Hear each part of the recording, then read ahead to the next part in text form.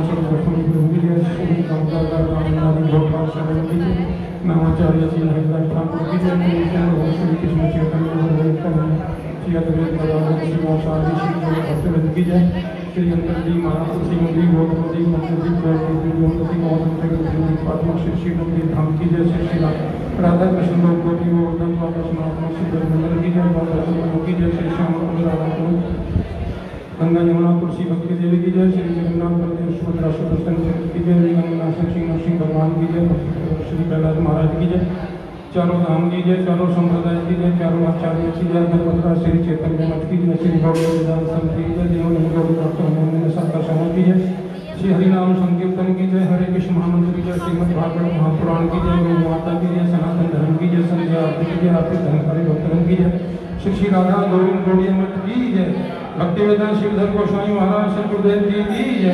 भक्तिवेदन श्री बाबा जी महाराज की जय। क्रमागत गौर भक्तवृंद की जय। श्री निताई गौर प्रेमानंद गौर प्रेमानंद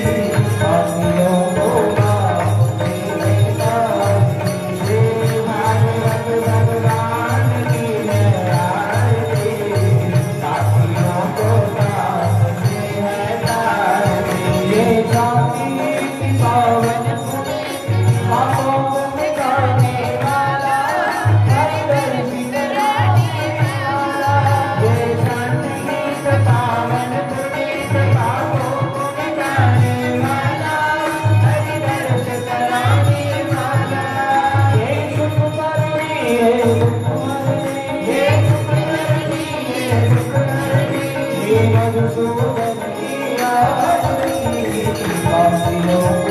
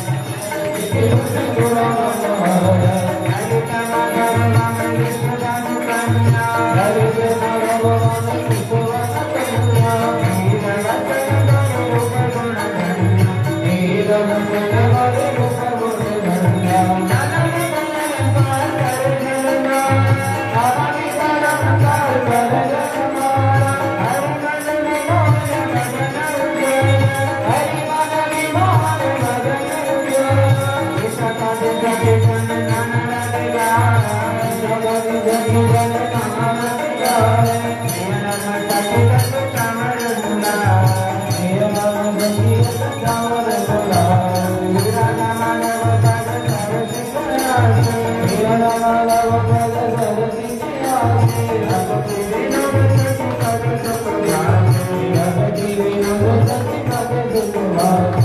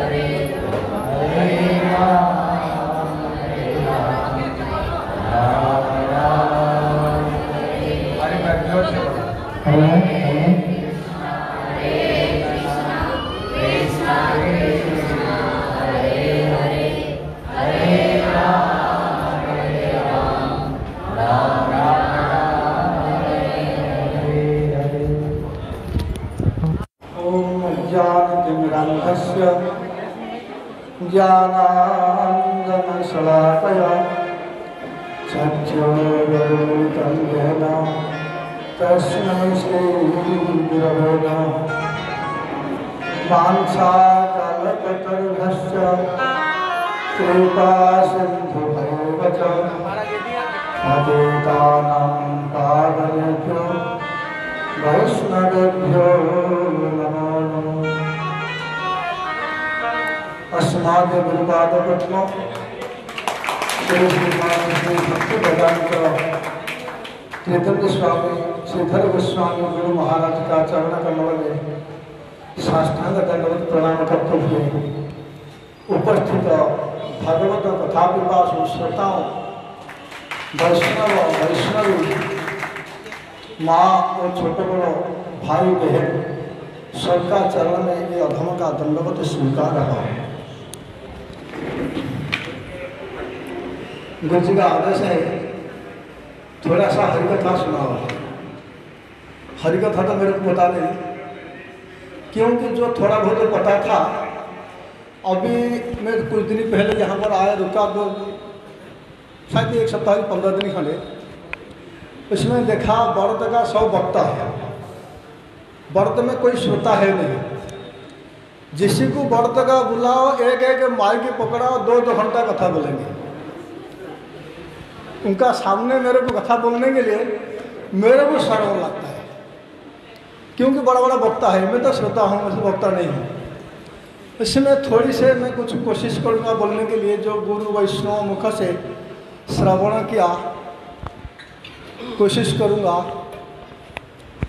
कल गुरु जी बता रहे थे, सुखोदेव गोस्वामी चौबीसी अवतार का वर्णना किया। जब वो चौबीसी अवतार का वर्णना करते करते जा रहे थे, उसी समय परीक्षित महाराज ने प्रश्न किया, सुखदेव गोस्वामी को, हे महात्मा, सबसे जो भगवान बनाया चौरासी लक्ष जोनि, सबसे श्रेष्ठ जोनि है मानव जोनि, सबसे निकृष्ट जोनि है मत्स्य जोनि, मछली जोनि है सबसे निकृष्ट जोनि। जो भगवान है, सच्चिदानंद विग्रह। सर्व कारण का कारण है। इतना सर्वश्रेष्ठ होने पर भी मछली जोनि में आने का कारण क्या है? सबसे निकृष्ट जोनि में भगवान क्यों आए? सुखदेव गोस्वामी बताया, गो विप्र सुर साधु नाम जब जब गाय विप्र बोलते ब्राह्मण, साधु और देवता, ये चारों का ऊपर जब जब विपत्ति पड़ता है, उसी विपत्ति से उद्धार करने के लिए, साधु को आनंद प्रदान करने के लिए, धर्म को स्थापना करने के लिए, इसी धराधाम में भगवान कुछ भी एक शरीर को ग्रहण करते हुए उपस्थित होते हैं। ऐसा कथा है। जब पिछली कल्प में प्रलय हुआ, सारा विश्व ब्रह्मांड जलार्णव हो गया। जब जलार्णव हो गया, पानी में सब डूब गए। उसी समय पानी होने का नाते ठंडा मौसम हो गया। हमको भी ठंडा मौसम में नींद आता है। नहीं आता। ब्रह्मा को नींद आया। ब्रह्मा ने शयन कर। दिया जब वो ब्रह्मा ने शयन किया उसका मुख से वेद प्रकट हुआ। उसी पास में एक हयग्रीव नाम का राक्षस था। उसी वेद को चोरा करके समुद्र अंदर प्रवेश कर गया। क्या राक्षस को वेद पाठ करना था क्या? नहीं। राक्षस कभी वेद पाठ नहीं करते। राक्षस इसीलिए वेद चुराया, दूसरा को दंड देने के लिए, दुख देने के लिए। जो व्यक्ति दूसरा को दुख देने के लिए पैदा होता है, वही राक्षस है। भगवान मत्स्य अवतार ग्रहण करके उसे हयग्रीव राक्षस को बद्ध किया एवं वेद उद्धार किया। जो वेद उद्धार किया, कथा इसी प्रकार है। आप लोग सुने होंगे कथा। सुना सुने कथा चरबीत चरबणाम में तो सुना रहा हूँ। जो श्रवण किया। सत्यव्रत मुनि जिसी को वैवस्वत राजा का एक बेटा थे साधदेव मनु।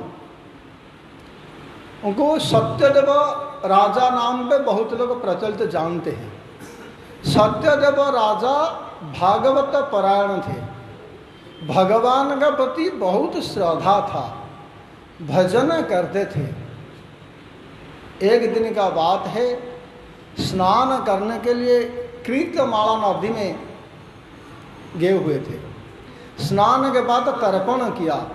तर्पण करना समय हाथ में एक छोटा सा मछली आ गया। जब वो छोटा सा मछली आया, तर्पण करेंगे किस प्रकार? उसको नदी में छोड़ने के लिए कोशिश किया। मछली बताया, है महात्मा, हे राजन, मुझे उधार करो। अपना कमंडल में भर दिया मछली को। मछली को कमंडल में भरा, तर्पण किया। तर्पण के बाद जब घर पर आया, देखा कमंडल भरा है। मछली बताया, है राजन, मुझे उधार कर। इसमें रुका नहीं जाता, बहुत कष्ट हो रहा है। मछली को लेकर के बड़ा के टॉप में छोड़ दिया स्विमिंग पूल में। जब वो स्विमिंग पूल में छोड़ दिया, दूसरा दिन देखा स्विमिंग पूल भरा है। तभी बताया, हे महात्मा, हे राजन, इसमें जागा नहीं हो रहा, थोड़ा सा बड़ा जगह देखो। जब वो नदी में छोड़ा, नदी से पुनर्बार उधार करके समुद्र में छोड़ने के लिए जा रहे थे समुद्र में जिस समय छोड़ा, उस समय मछली बताया, है राजन, इसमें मत छोड़ो, क्योंकि इसमें बहुत बड़ा बड़ा हिंस्र जीव जंतु रहते हैं। मैं उनका आहार बन जाऊँगा। मेरे को खा जाएँगे। मेरे को उधार करो। सत्यव्रत राजा ने कहा, मैं क्या उधार करूँ प्रणाम किया। बहुत सुंदर श्लोक है भागवत में। मेरा वो श्लोक याद नहीं है। बताया है राजन। राजन ने बताया, आप तो सृष्टि स्थिति प्रलय करने वाले हो। आप तो जो व्यक्ति आपका शरणागत हो जाए, आप उसी को कृपा करके उद्धार करते हो। मैं अभी आपका शरणागत हूँ। मैं इतना जानना चाहता हूँ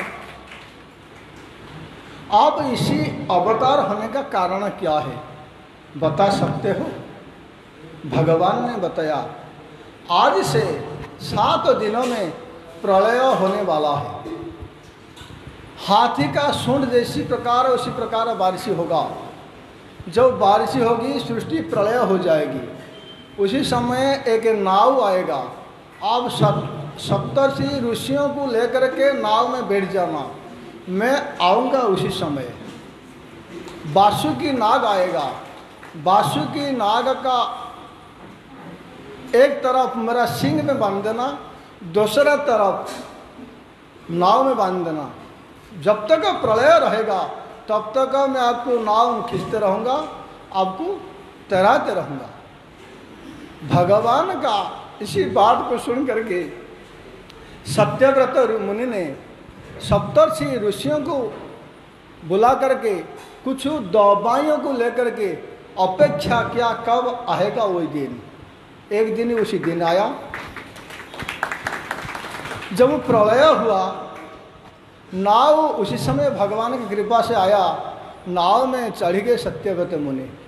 अपेक्षा किया, भगवान का कब? जिस रूप को मेरा दर्शन हुआ था उसी मछली रूप कब दर्शन होगा। सब अपेक्षा किया।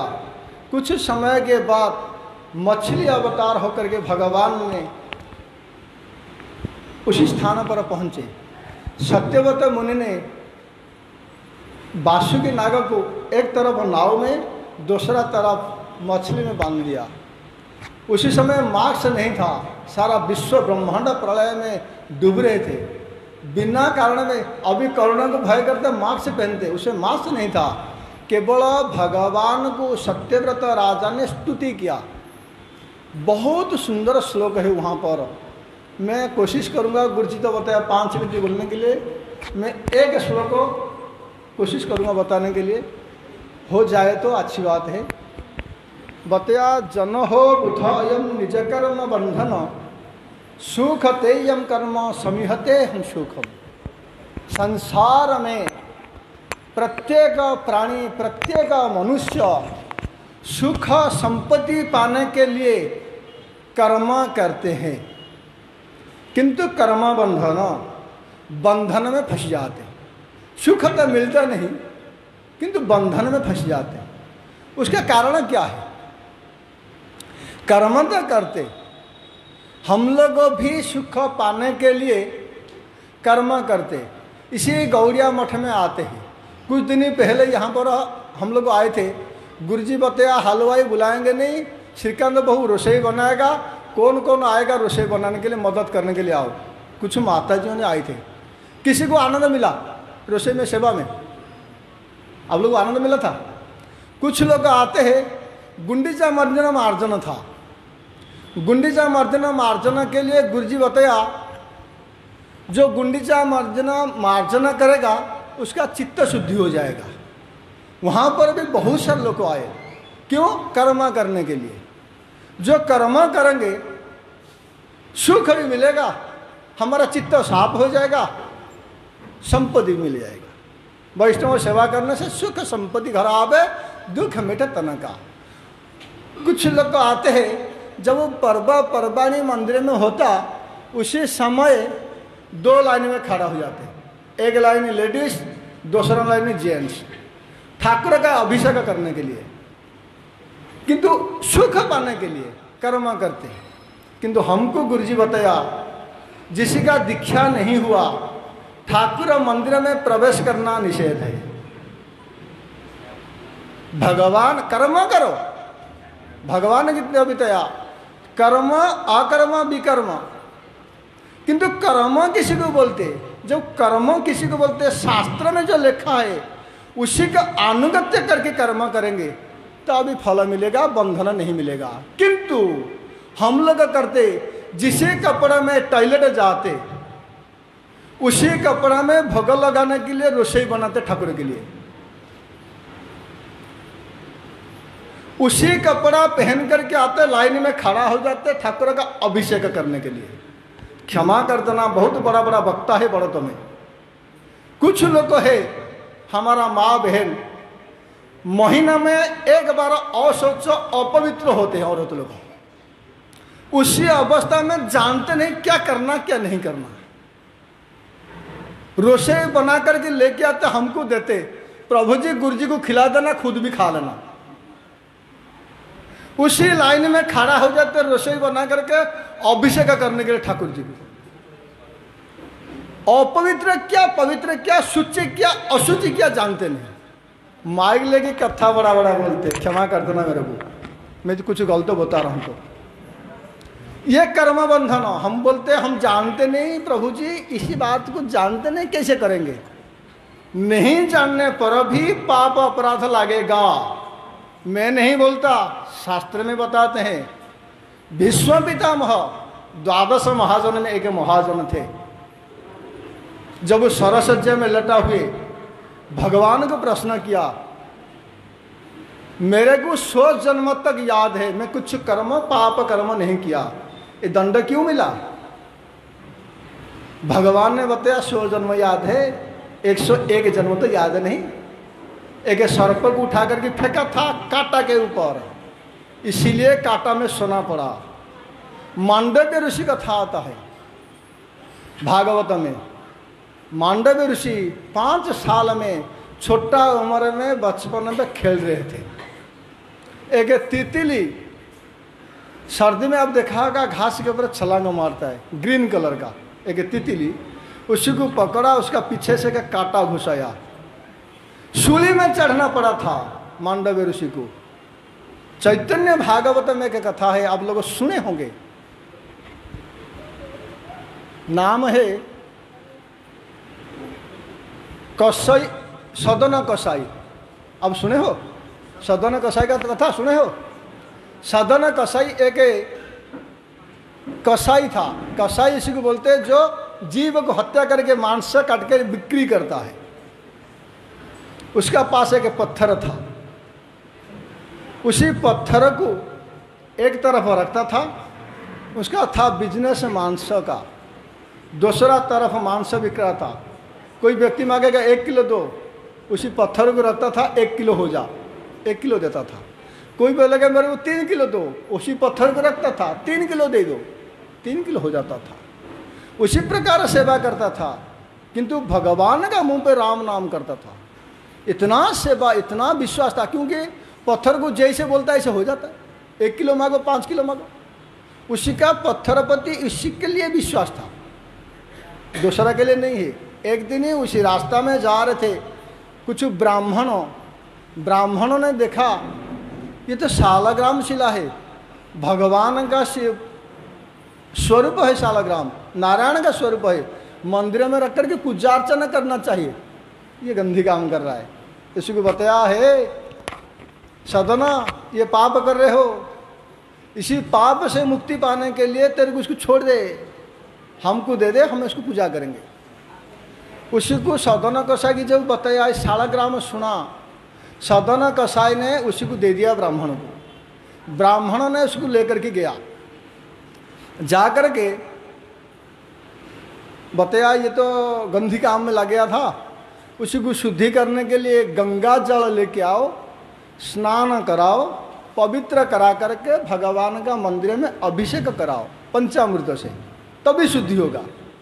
जब वो शुद्धि करा करके भोग लगाया, रात को शयन करने के लिए गया, रात को भगवान ने बोली पड़े स्वप्न में, है ब्राह्मण, किसी ले लेके आया? जिसका पास था उसका पास पहुँचा दे, वो मेरा भक्त है।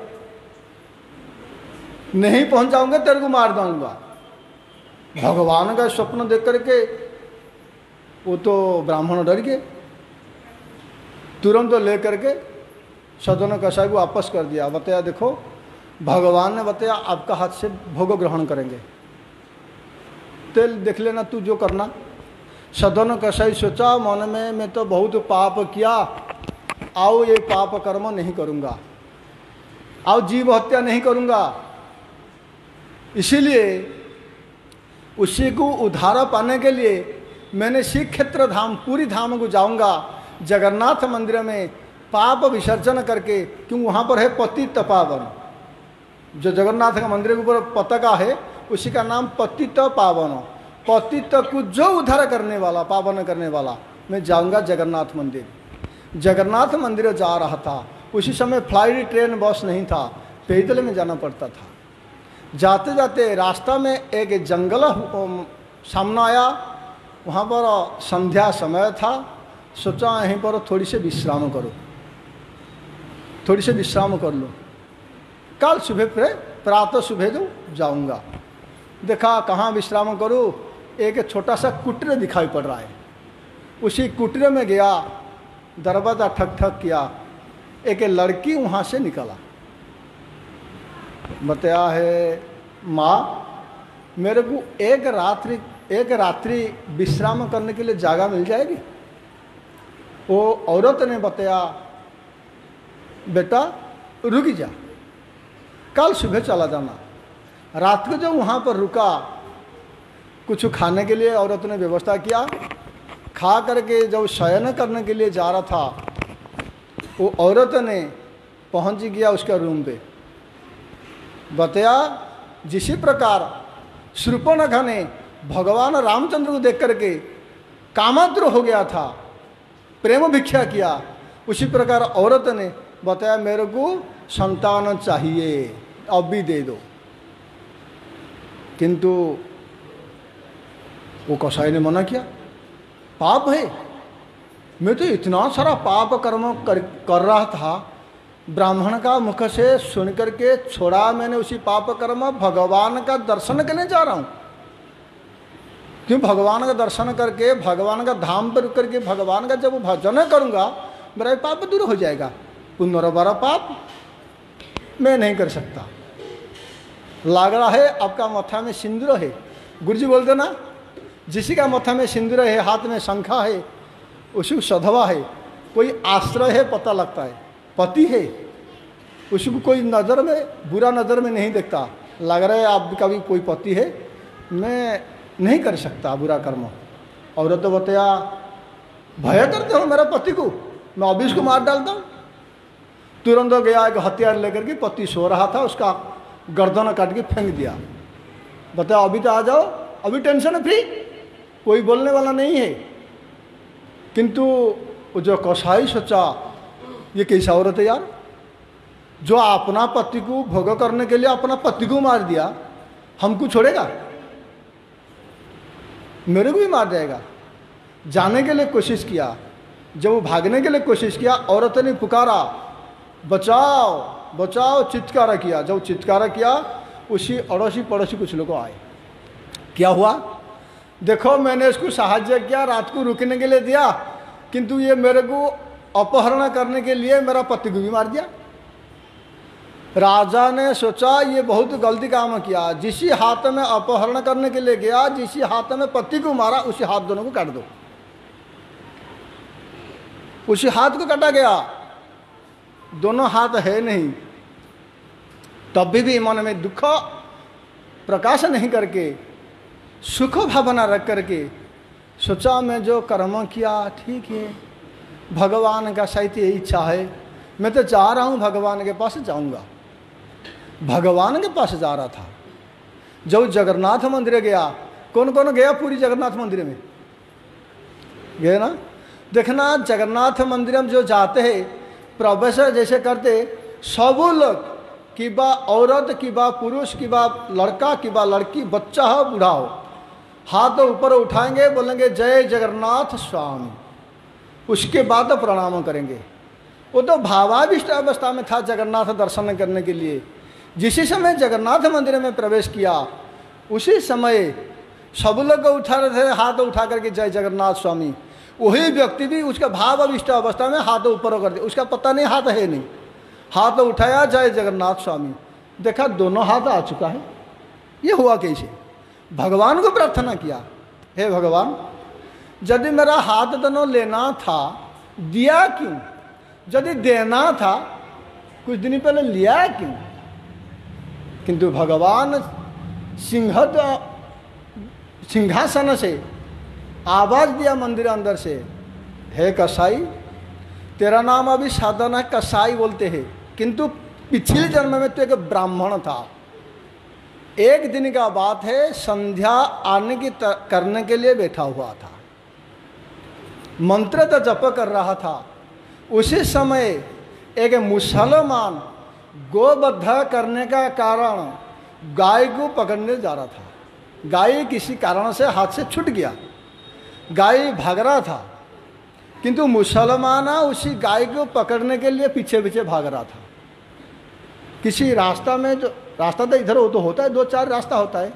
किसी रास्ता में घूम गया। गाय की नज़र से दूर हो गया। मुसलमान ने उसी ब्राह्मण को आकर पूछा, है महात्मा, यहाँ पर तो बैठे हुए? कब से बैठे हो? एक गाय इसी रास्ते में गया, देखे हो क्या? वो ब्राह्मण आने कर रहा था, कुछ मुख से बोला नहीं, हाथ से दिखा दिया। इसी रास्ते में गया। हाथ दिखाने का कारण किसी लिए गोबद्ध करने के लिए वो मुसलमान लेकर गोबद्ध किया। जो हाथ दिखाया उसी हाथ दिखाने का कारण उस तरह का हाथ कटा गया था। बताया, मैं जब वो हाथ दिखाया, मेरा हाथ कटा, बिना कारण में वो तो पति सो रहा था। वो मरा क्यों? मैं जो आना समय, जो औरतों मेरे को हाथ कटवा दिया राजा से, मैं सोचा पिछले जन्म में ब्राह्मण था, जो बात बताया मैं मानता हूँ। वो जो व्यक्ति मरा, वो व्यक्ति था कौन? बताया जो गाय था, वही औरत है। जो मुसलमान था गाय की बद्ध किया था, वही है उपत्ति। हम लोग भी कितना क्या क्या कर्म करते। उसी अशौच अवस्था में पवित्र, अपवित्र नहीं मान करके, शास्त्र को गुरु वाणी को नहीं सोच करके, पहुँच जाते, अभिषेक करने के लाइन में खड़ा हो जाते। जिस टॉयलेट में जाते, जिस कपड़ा में। जिसे कपड़ा पहन कर अपवित्र होते हैं।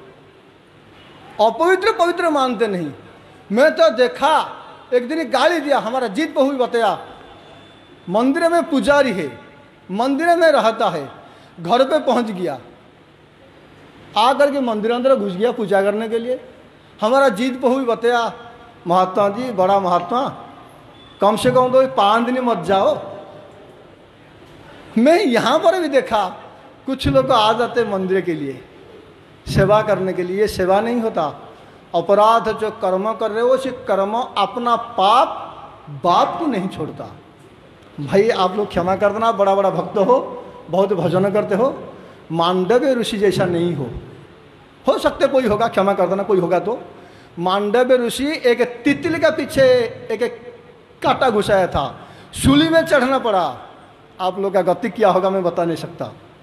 कृपया मेरा अनुरोध, यही कर्म नहीं करना। लाइन में खड़ा होकर के अभिषेक करने के लिए नहीं आना। नरसिंह हवन होता है, अपवित्र अवस्था में मंदिर में नहीं आना। किंबा गुरु वैष्णव को रोसे बना करके उसी दिन नहीं खिलाना। बहुत टाइम हो गया, गुरुजी बताया था पाँच मिनट दो मिनट लूँगा, कोई समझा नहीं, समझा पता नहीं। एक वक्ता कथा कर रहे थे राम कथा राम कथा करते करते नौ दिन तक समाप्त हो गया राम कथा बताया, एक श्रोता खड़ा हो गया, मेरा जैसे बेकूफ श्रोता था। खड़ा होकर के बताया महात्मा जी, आप जो कथा किया राम कथा नौ दिन तक प्रत्येक दिन चार चार घंटा कथा किया चार घंटा में केवल राम, रावण राम रावण राम रावण। राम कथा में क्या है अब जो राम, रावण राम, रावण कथा किया, मैं समझ नहीं पाया राक्षस था कौन? रावण राक्षस था ना राम राक्षस था? वक्ता बताया, हे महात्मा, मैं आपको क्या बताऊँ? राम भी राक्षस नहीं था, रावण भी राक्षस नहीं था, वही राक्षस मैं था। आपको समझा नहीं पाया। वंशा कल्पतुर्भ्यश्च कृपा सिंधु भय विष्णु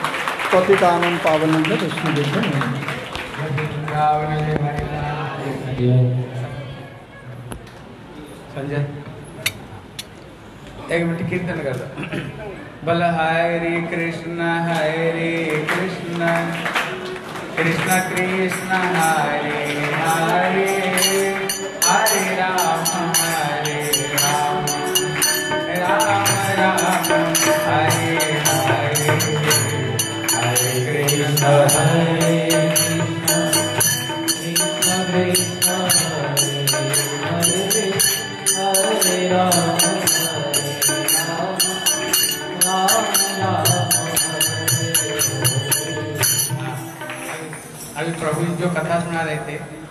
वो जो सदन कसाई था जो सालग्राम को रख करके मांस बेचता था लेकिन बेचता था मांस। लेकिन जो भजन गाता था वो ठाकुर जी का भजन गाता था। बोले कौन सा भजन गाता था? बोले जो कवि जयदेव गोस्वामी का जो जय जय देव हरे। ये भजन को रोज गाता था। और ये भजन में श्री राधा रानी की नाम की महिमा राधा रानी की प्रेम की महिमा को भजन में। और जहाँ पर राधा रानी का नाम हो ना इसलिए कहते ना राधे बिहारी। इसलिए जहाँ पर श्री ईश्वरी जी का नाम हो, ठाकुर जी वहाँ भाग भाग कर पहुँचते। इसलिए ये चूँकि ये भजन गाता था और भगवान भी भजन बड़ा प्यारा लगता था, लेकिन वहीं पर रहना चाहता था। लेकिन उसको ले जाने पर भी बोले, भैया, हमको वहीं छोड़ कर जाओ। क्योंकि रोज रोज ये जो गीत गोविंद का जय जय देव हरे भजन गाता था। क्योंकि ये भजन जगन्नाथ जी को बहुत ही प्यारा भजन है।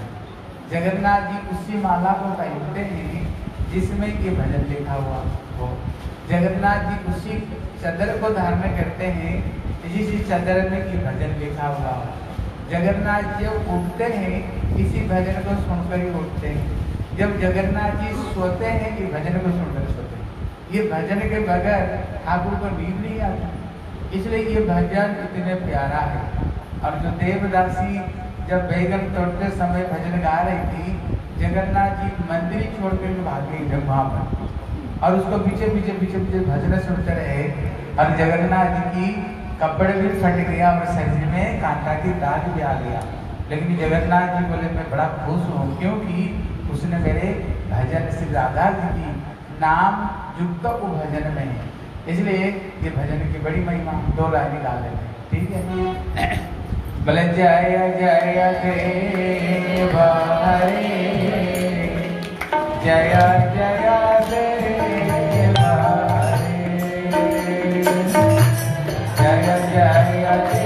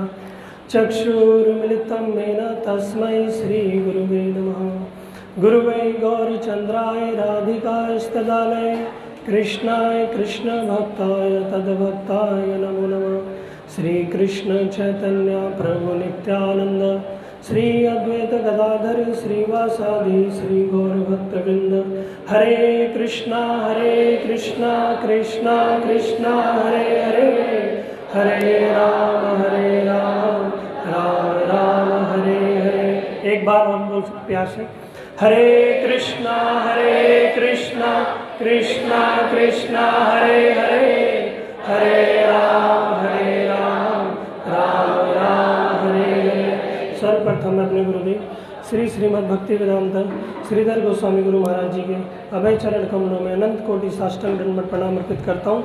उपस्थित वैष्णव वैष्णवी महाराज जी के चरणों में अनंत कोटि साष्टांग दंडवत प्रणाम। हरे कृष्णा। शास्त्रों में एक बात पूछी गई है कि वास्तव में जो अमृत है ना, वो कहाँ पाया जाता है? जो अमृत है, उसका स्रोत क्या है, वो कहाँ पाया जाता है? तो कोई जानता है अमृत कहाँ पाया जाता है? कोई बता सकता है? माता जी बोली स्वर्ग और। भागवत और? है? गुरु जी के चरणों में ठीक है, बहुत बढ़िया। देखो, सब अपने अपने अपने हिसाब से बता रहे हैं। कोई कह रहा भागवत में, कोई कह रहा गुरु जी के चरणों में, कोई कह रहा स्वर्ग में, कोई कह रहा उसके घर में। ठीक है? तो हो सकता है कहीं भी पाया जा सकता है। लेकिन जो पंडित लोग हैं ना वो बताते हैं कि पाँच स्थानों में स्वर्ग जो अमृत है, वो पाने की संभावना है। अवदो विदु अवदो विदो, वधु, मुखे फनीनाम स्थाने स्वर्गे सुधावसती पाँच जगह बताएँगे। अवधो अवधो यानी अवधु, समुद्र। तो सबसे पहले बताया गया कि समुद्र में अमृत मिलने की संभावना है। तो भैया कैसे संभावना? तो बताया गया कि भैया शास्त्रों में कथा है, समुद्र मंथन की कथा। सुनिए ना समुद्र मंथन की कथा। तो उसमें बताया गया था कि कैसे मंदराचल पर्वत को जब भगवान कश्यप अवतार लिया था, उसके ऊपर मंदराचल पर्वत से और देवता और दानव ने क्या करा था? मंथन किया था, समुद्र मंथन। तो समुद्र मंथन से क्या निकला था? अमृत। निकला था? तो कुछ पंडितों का कहना है कि अमृत कहाँ से निकला था? समुद्र से। दूसरा बताया अवदो विदु। विदो, ये सातवीं सप्तमी है। विदो यानी चंद्रमा। कुछ पंडितों का कहना है कि भैया, अमृत चंद्रमा में पाया जाता है। तो भैया, चंद्रमा में कैसे पाया जाता है? तो बताया गया कि चंद्रमा में एक रस पाया जाता है, जिसका नाम है सोम रस जो बिल्कुल अमृत के ही समान है। किसके समान है? अमृत के ही समान है। और वहाँ के सारे लोग उसका पान करते हैं। तो अमृत कहाँ भी पाया जा सकता है? चंद्र लोक में। तीसरा बताया गया है, क्या बताया? वधुमुखे। वधुमुखे। जो कामी पुरुष होते हैं ना, वो कहते हैं, अमृत पता है कहाँ पाया जाता है? ना समुद्र में अमृत है, ना चंद्रमा में अमृत है। अमृत है तो वधु। जो जिस अविवाह अविवाहित स्त्री होती है, जिसकी शादी होने वाली है ना, सुंदर स्त्री, कहते हैं उसके मुख में अमृत पाया जाता है। तो कामी पुरुष है, उसका मत है कि जो स्त्री है, सुंदर स्त्री है, जिसका विवाह होने वाला है, उसके मुख में, क्या कहते हैं अधरा अमृत तो उसके मुख में अमृत पाया जाता है। कहते ठीक है। अब कुछ लोगों का मत है, पंडित लोगों का, कि फणी नाम निवास है यानी जो सर्पलोग में अमृत पाया जाता है। तो भैया, कैसे? प्रमाण है कोई? कहते हाँ कहते हैं कि महाभारत के समय में जो भीम थे ना तो उनको कौरवों ने क्या करा? उनको जहर में खीर मिल, खीर में जहर मिला के खिलाया और उसके बाद उन्हें क्या किया? एक नदी में डुबो दिया। तो हुआ क्या? जब वो नीचे नदी में गिरे तो नीचे सर्पलोक था और वो सर्पों के ऊपर जा गिरे। तो जो वहाँ के द्वारपाल थे, उन्होंने उसे डसा, भीम को डसा। तो बताया कि जहर को जहर मारता है। तो भीम का जो जहर था वो खत्म हो गया। अब जब उन्हें पता चला, भैया, ये तो भीम है। ये तो भैया भगवान कृष्ण का पार्षद है, हैं? और बताया गया कि उनके कोई वहाँ रिश्तेदारी भी निकल आई। उन्होंने क्या किया? भीम को क्या ऑफ़र किया? अमृत। जो सर्प है ना, वो तो एक एक बूंद अमृत पी रहे थे, लेकिन उन्होंने भीम को एक मटका दिया। भीम ने एक मटका, दो मटका, तीन नहीं, कितने मटके पी लिए? दस। तो तभी बताया जाता है कि भीम के अंदर कितना बल है? दस हज़ार हाथियों का बल। तो एक संभावना ये भी है कि अमृत कहाँ पाया जाता है? सर्पलोक में। अभी पूछूँगा सब कहाँ का बताया मैंने। पांचवा, स्वर्गे। स्वर्गे सुधा वसती। सुधा यानी अमृत। स्वर्ग में अमृत मिलने की संभावना है। जैसा माता जी ने बताया था। क्यों? कि बताया जाता है कि जो वहाँ के लोग हैं ना, स्वर्ग में, उन्हें अमर है। उनका एक नाम है क्या है? अमरा। उनका क्या नाम है? अमरा। तो हमने पाँच जगह हमारे चांसेस है अमृत मिलने के। सबसे पहले कहाँ था? समुद्र में। गुड दूसरा? चंद्रमा में। तीसरा? स्त्री के मुख में। ठीक है। चौथा? सर्पलोक में। पांचवा? स्वर्ग में। लेकिन यहाँ कहीं भी अमृत नहीं है। है? ये कैसे भैया तो प्रमाण बता रहे सब जगह। लेकिन कह रहे हैं वास्तव में इन कहीं भी अमृत नहीं है। तो कहाँ है? अमृत। तो अगली लाइन में बताते हैं शारम शयम पतिमृतम गरलम पतंतम शारम कह रहे हैं शारम यानी अगर समुद्र में अमृत होता ना तो समुद्र का जल खारा नहीं होता। समुद्र का जल कैसा होता है? खारा। आप पी नहीं सकते। जब मैं पहली बार पूरी गया था ना तो मैंने वहाँ बढ़िया से प्रणाम किया। मुझे लगा साधारण जल होगा। मैंने खूब जल भरा और मुँह में दिया आज मैंने और ना मैं निगला गया, ना उगला गया। तो ये समुद्र में अमृत नहीं है। दूसरा क्या था? चंद्रमा। तो भैया कहते हैं, चंद्रमा में तो दाग है। ठीक है, चंद्रमा क्या होता है? पूर्णिमा। देखो, पूर्णिमा में चंद्रमा क्या होता है? पूरा। लेकिन धीरे धीरे धीरे क्या होता है? वो क्षय होने लगता है, कम होने लगता है। और क्या हो जाती है? अमावस्या। तो भैया, अगर चंद्रमा में अमृत होता तो उसका क्षय होता? जहाँ घटन होता है, वर्धन नहीं होता, वहाँ अमृत हो ही नहीं सकता। तो चंद्रमा में अमृत नहीं है। तीसरा, कहा था? स्त्री मुखे। भैया, जिस स्त्री के मुख में अमृत है ना, उसका पति, उसका मुख का देखते देखते वो मर जाता है। वो पति मर जाता है और कहते हैं, भैया, स्त्री के मुख में अमृत है। तो वास्तव में भैया तो ये तो शास्त्र में बताया गया कि जिसका जन्म हुआ उसकी मृत्यु होगी। जात से ही ध्रुव ध्रुवम जन्म मृतश्चा जिसका जन्म हुआ उसकी मृत्यु निश्चित है।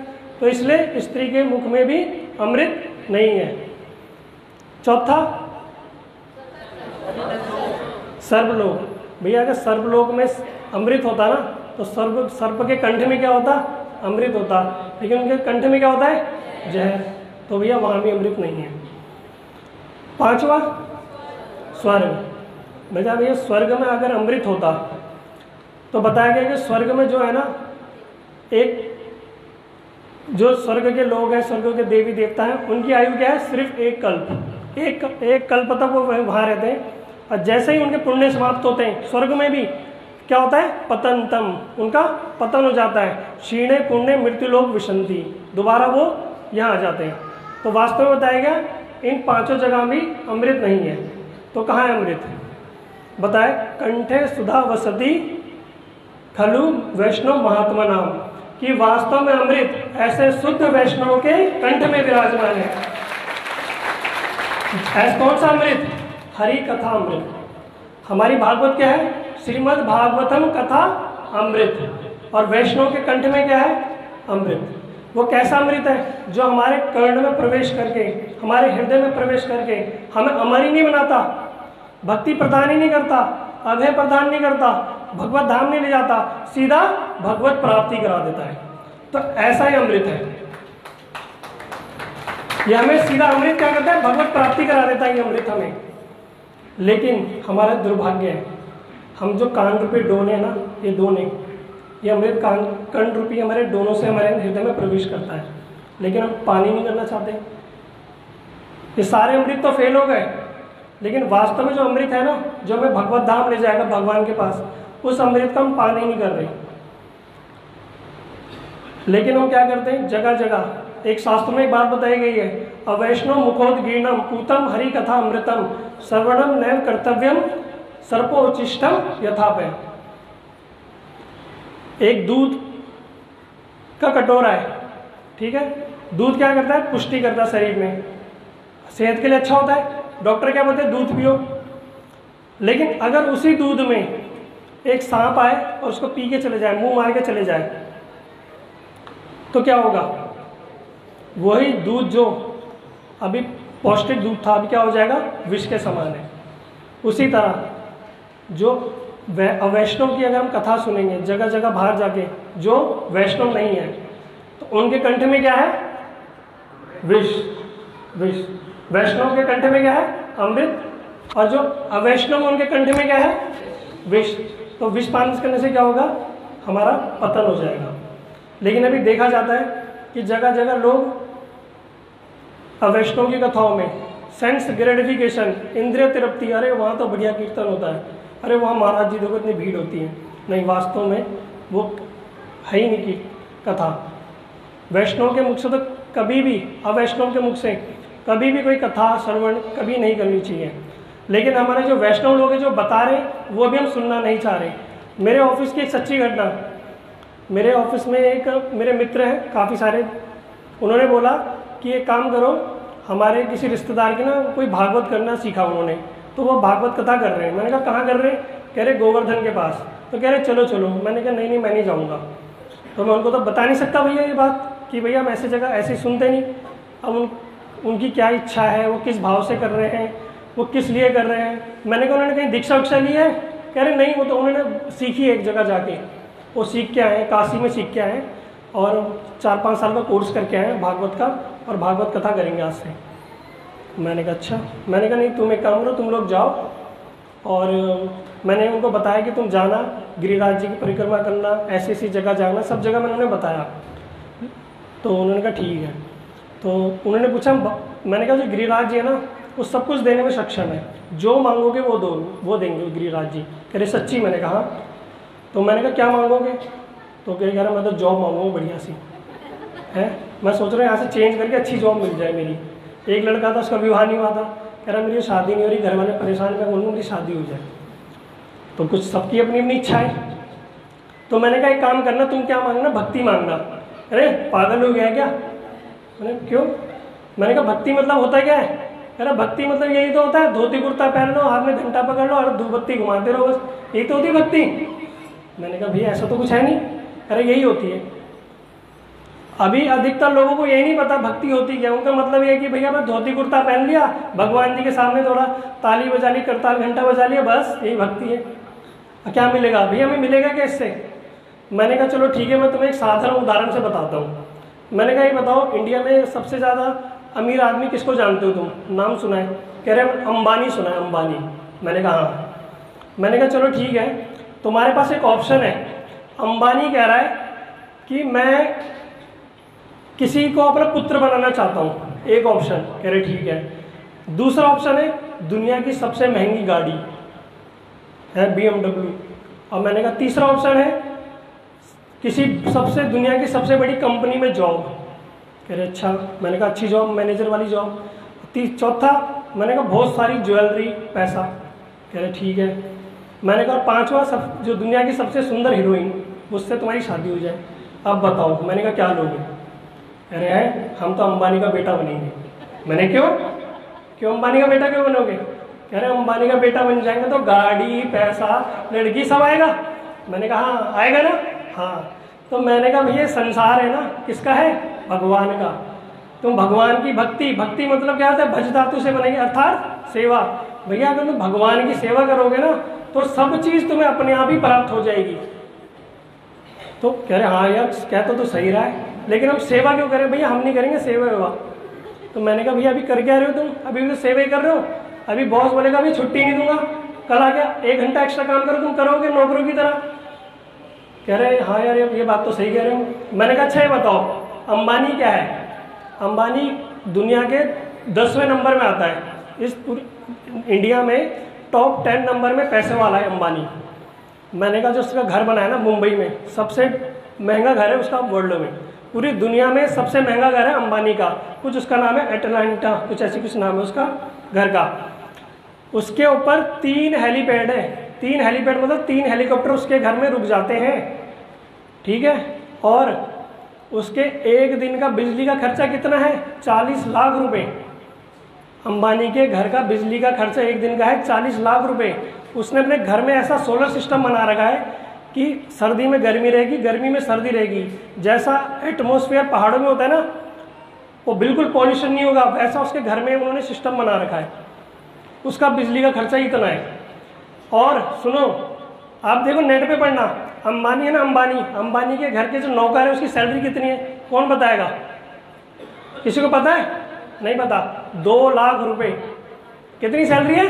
दो लाख रुपए। यहाँ बड़े बड़े अच्छे अच्छे डॉक्टर इंजीनियर नहीं ले रहे। अंबानी के नौकर ले रहे हैं कितने? दो लाख रुपए सैलरी। और तो और, सैलरी के साथ उनका एक बच्चा कहाँ पढ़ेगा? विदेश में। कहाँ पढ़ेगा? आप में से कितने के बच्चे विदेश में पढ़ रहे अंबानी का जो नौकर बनेगा, सैलरी होगी दो लाख। उसका बच्चा कहाँ पढ़ेगा? विदेश में। ठीक है? अंबानी जब नीचे उतरेगा, सुबह ब्रेकफास्ट करने बड़े बड़े शेफ रखे हुए घर में, बड़ा डाइनिंग टेबल लगा रखा है। सारा आइटम टेबल पे बने होने चाहिए। वो ऑर्डर नहीं देगा। मिले सैंडविच बनाओ मिले पास्ता बनाओ मिले नूडल बनाओ, नहीं। सब कुछ टेबल में ऑलरेडी बना रहेगा। वो जो आएगा, उसका मन कर गया जूस पिया ब्रेड खाई, चला गया। सारा कौन खाएगा? नौकर। कौन खाएगा? नौकर। लेकिन बनाना सब पड़ेगा। गाड़ियाँ, वो जहाँ से उतर जाए, जिस गाड़ी में चले जाए ड्राइवर हर गाड़ी में मौजूद रहेगा। ठीक है? देखनी, रहीसी देखो। उसकी बीवी नीता अंबानी उसका जो पर्स है ना, पर्स। एक पर्स वो एक पार्टी में जाती है, उसके बाद दोबारा यूज़ नहीं करती। एक पर्स, और वो पर्स होता लाखों रुपए का। कई लाखों रुपए का। एक पर्स, और वो कहाँ जाता है फिर? नौकरों के पास। ठीक है? अंबानी की बीवी के पास जो फ़ोन है ना, वो दुनिया में किसी पे नहीं है। उस पर जो बताया गया डायमंड लगे है ना, वो पूरी दुनिया में किसी के पास नहीं है। ठीक है? किसके पास है? अंबानी की बीवी के पास। अंबानी ने अपनी बीवी को क्या गिफ्ट किया था? पता है आपको? बर्थडे में हेलीकॉप्टर आपको क्या आपके पति ने भी हेलीकॉप्टर की फ़ोटो भी दी है? बस लंडा मत करा के मुझसे लोग ये भैया, मेरी बीवी हेलीकॉप्टर बन रही है। तो अंबानी ने देखो अपनी बीवी को क्या दिया? हेलीकॉप्टर पूरा एक हेलीपैड दिया। रईसी देखो। लेकिन एक चीज़ देखो, उनके अंदर भी एक अंबानी की जो वाइफ है ना, अभी उनके बेटे की शादी हुई थी, बेटी की। उन्होंने बहुत बड़ा प्रोग्राम कराया था मुंबई में। उन्होंने एक डांस प्रोग्राम रखा था। अंबानी नीता अंबानी ने खुद डांस किया था। आप देख रहे हैं यूट्यूब में। कौन से गाने पे किया था? अधुरम मधुरम मधुरम जो वाला हमारा भजन है ना, उस पर किया था। वो भगवान कृष्ण की बहुत बड़ी भक्त है। घर में एक मंदिर बना रखा है। तीन तीन पुजारी रखें। मंदिर में तीन तीन पुजारी रखें और रोज पूजा करती है। लेकिन एक खासियत है, वो सिर्फ़ कृष्ण को मानती है, बांके बिहारी को। मुंबई में हाजी अली है, लोग जाते हैं दरगाह में। हम हिंदू लोग ज़्यादा जाते हैं, मुसलमानों से ज़्यादा। वो हमारे यहाँ नहीं होते, लेकिन हम लोग ज़्यादा जाते हैं, क्यों? हमें अपने भी अपने देवी देवताओं, अपने भगवान में भरोसा नहीं।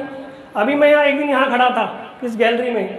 लोग भागवत के लिए आ रहे हैं तो पहले पंचवटी मंदिर में जा रहे हैं। हे भगवान, पहले भैया यहाँ आओ। अभी तुम्हारी एक में श्रद्धा नहीं हुई। सारा घूम के तुम सारे मंदिरों में, जैन मंदिर ये करते, फिर यहाँ आ रहे हो। भैया क्या है? उसको देखो, उसके कमी है उसके पास कुछ? नीता अंबानी के पास कुछ कमी है? देखो, मैं शास्त्र को उदाहरण नहीं दे रहा कि उसने ये करा था देवती ने किया, सीता ने ये किया कौशल्य ने ये किया, सुमित्रा ने किया। मैं किसी का उदाहरण नहीं दे रहा अभी शास्त्रों का। आपको लाइव उदाहरण दे रहा हूँ, आप नेट पे जाके देखो सर्च करो, पढ़ो, क्या सच है या नहीं है। है ना? एक निष्ठ भक्ति करती है। किसी चीज़ की कमी नहीं। तो मैं सब क्यों बोल रहा हूँ? इसलिए बोल रहा हूँ कि अगर हमारे पास ऑप्शन आया ना कि अंबानी के घर में नौकर बनना है कौन कौन बनेगा? बताओ। सारे बने, हाथ खड़ा, कोई नौकर, अभी नौकर शब्द उड़ गया ना तो कोई नहीं हाथ खड़ा करेगा। और सब बनेंगे। अगर हो गया ना कि अंबानी के घर में इंटरव्यू चल रहा है, सारी माता बोलेंगे, पति को भागो जब इंटरव्यू देके आओ। सब बोलेंगे। लेकिन सोचो, जो अंबानी, जिसके घर नौकर बनने के लिए लोग तरसते हैं, है ना, उसका मालिक कौन है? कौन है? कृष्ण, भगवान, जिनको मानते बाकी बिहारी। वो उनका मालिक है। अगर उसके नौकर बन गए तो हमें किसी चीज़ की कमी होगी? होगी? नहीं होगी। तो वास्तव में किसका नौकर बनना है? किसके दास बनो? किसके दास बनना है? ठाकुर जी के। भैया ठाकुर जी के दास बन गए ना तो सब तुम्हारा है। है ना?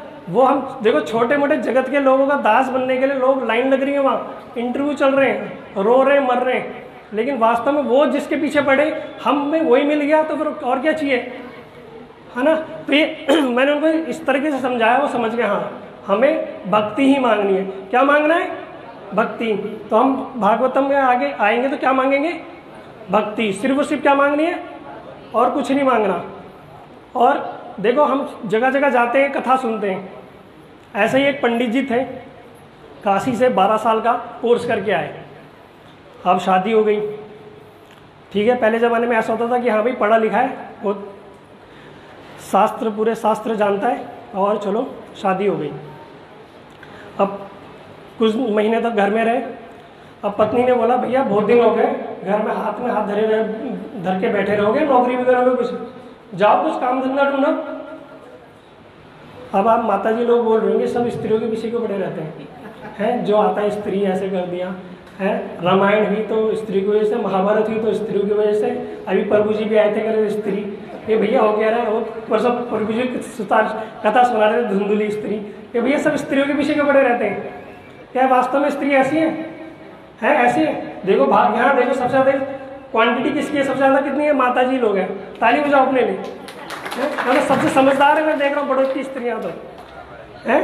देखो, कलयुग में बताया गया एक छोटी सी बात बताता हूँ मैं।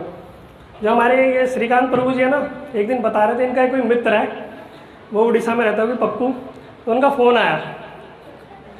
तो फ़ोन आया उनका कि अरे प्रभु जी, ये लॉकडाउन लग गया है और ये मैं बहुत परेशान हूँ। तो देखो स्त्री कितनी इंटेलिजेंट होती है लोग तो ऐसे ही बोलते हैं। तो श्रीकांत प्रभु जी ने कहा, बोला अच्छा है लॉकडाउन लग गया, घर पे रहो, काम करो। कह रहे, नहीं, अब मैं तो एक साल से तो घर में ही हूँ, अब दोबारा लॉकडाउन लग गया तो मैं परेशान हो रहा हूँ, मुझे टेंशन हो रही है। तो श्रीकांत प्रभु जी ने पूछा, किस बात की टेंशन कह रहे, मैं घर में रहूँगा तो मुझे बीजेपी बीजेपी करना होगा। तो श्रीकांत प्रभु जी ने कहा, भैया बीजेपी करने में क्या दिक्कत है? बीजेपी कांग्रेस कर लो, कोई बात नहीं, घर में ही तो रहना है। तो उन्होंने कहा, अरे भैया, आपको नहीं पता, आप ग्रस्त लाइफ में नहीं हो। बीजेपी का मतलब है बर्तन, झाड़ू, पोछा, है? बी से बर्तन जैसे झाड़ू, पे से पोछा।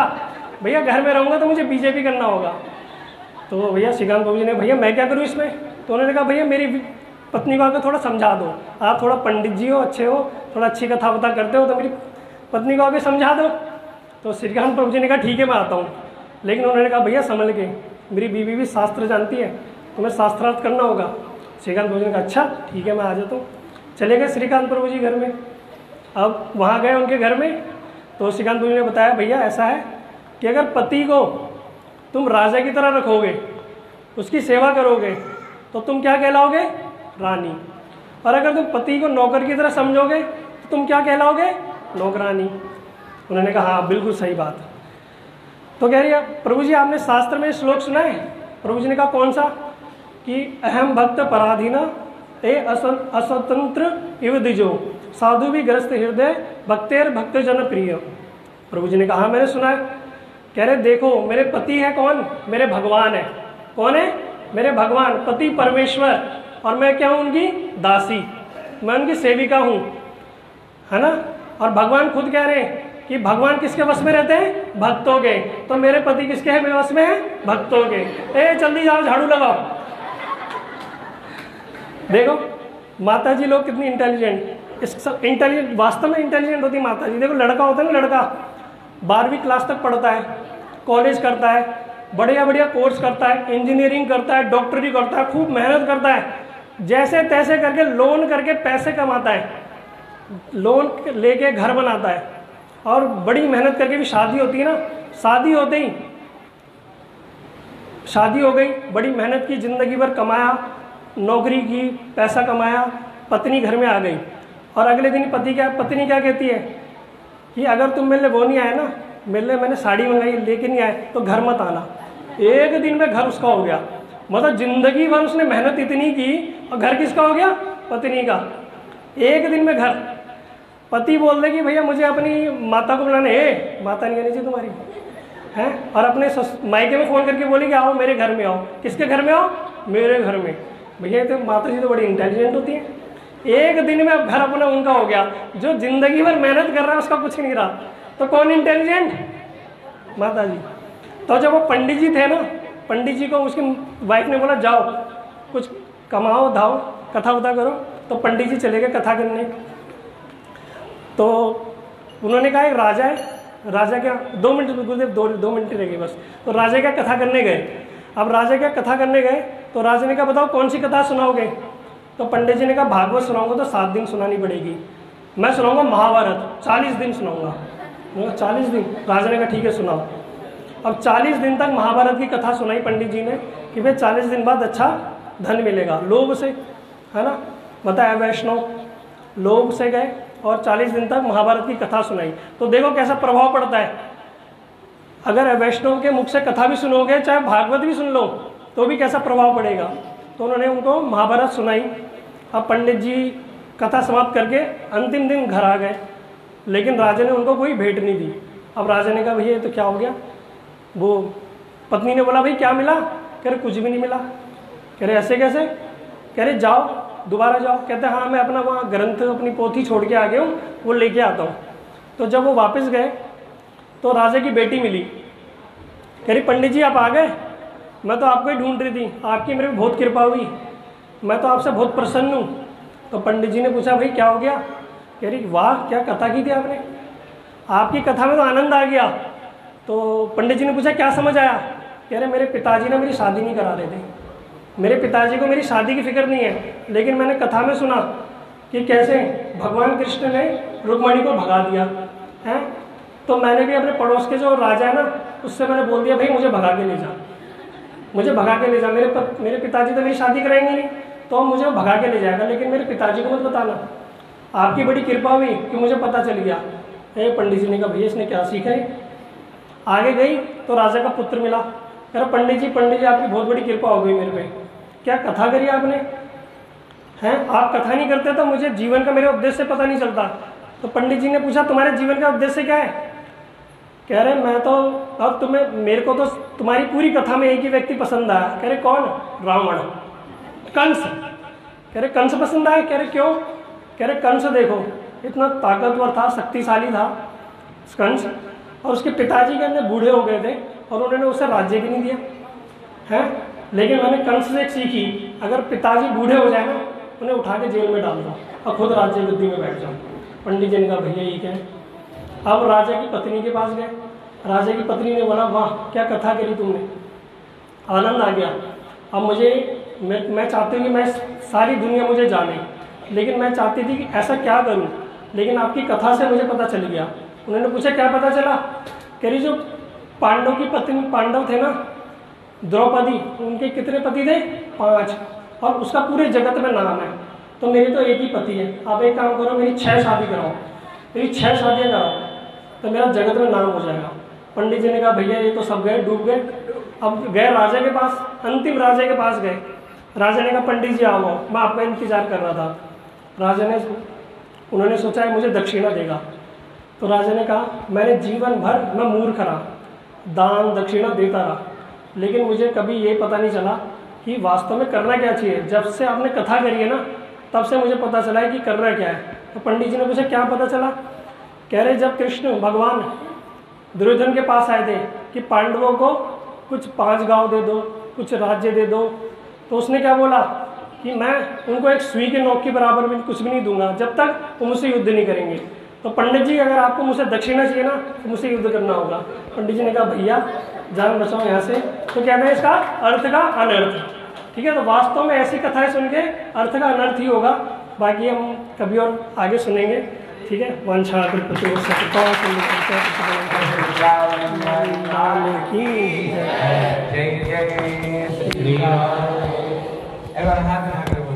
बोल, हरे कृष्ण हरे कृष्ण कृष्ण कृष्ण, हरे हरे हरे राम हरे राम राम राम। हरे ज़ोर से बोला। बोला, हरे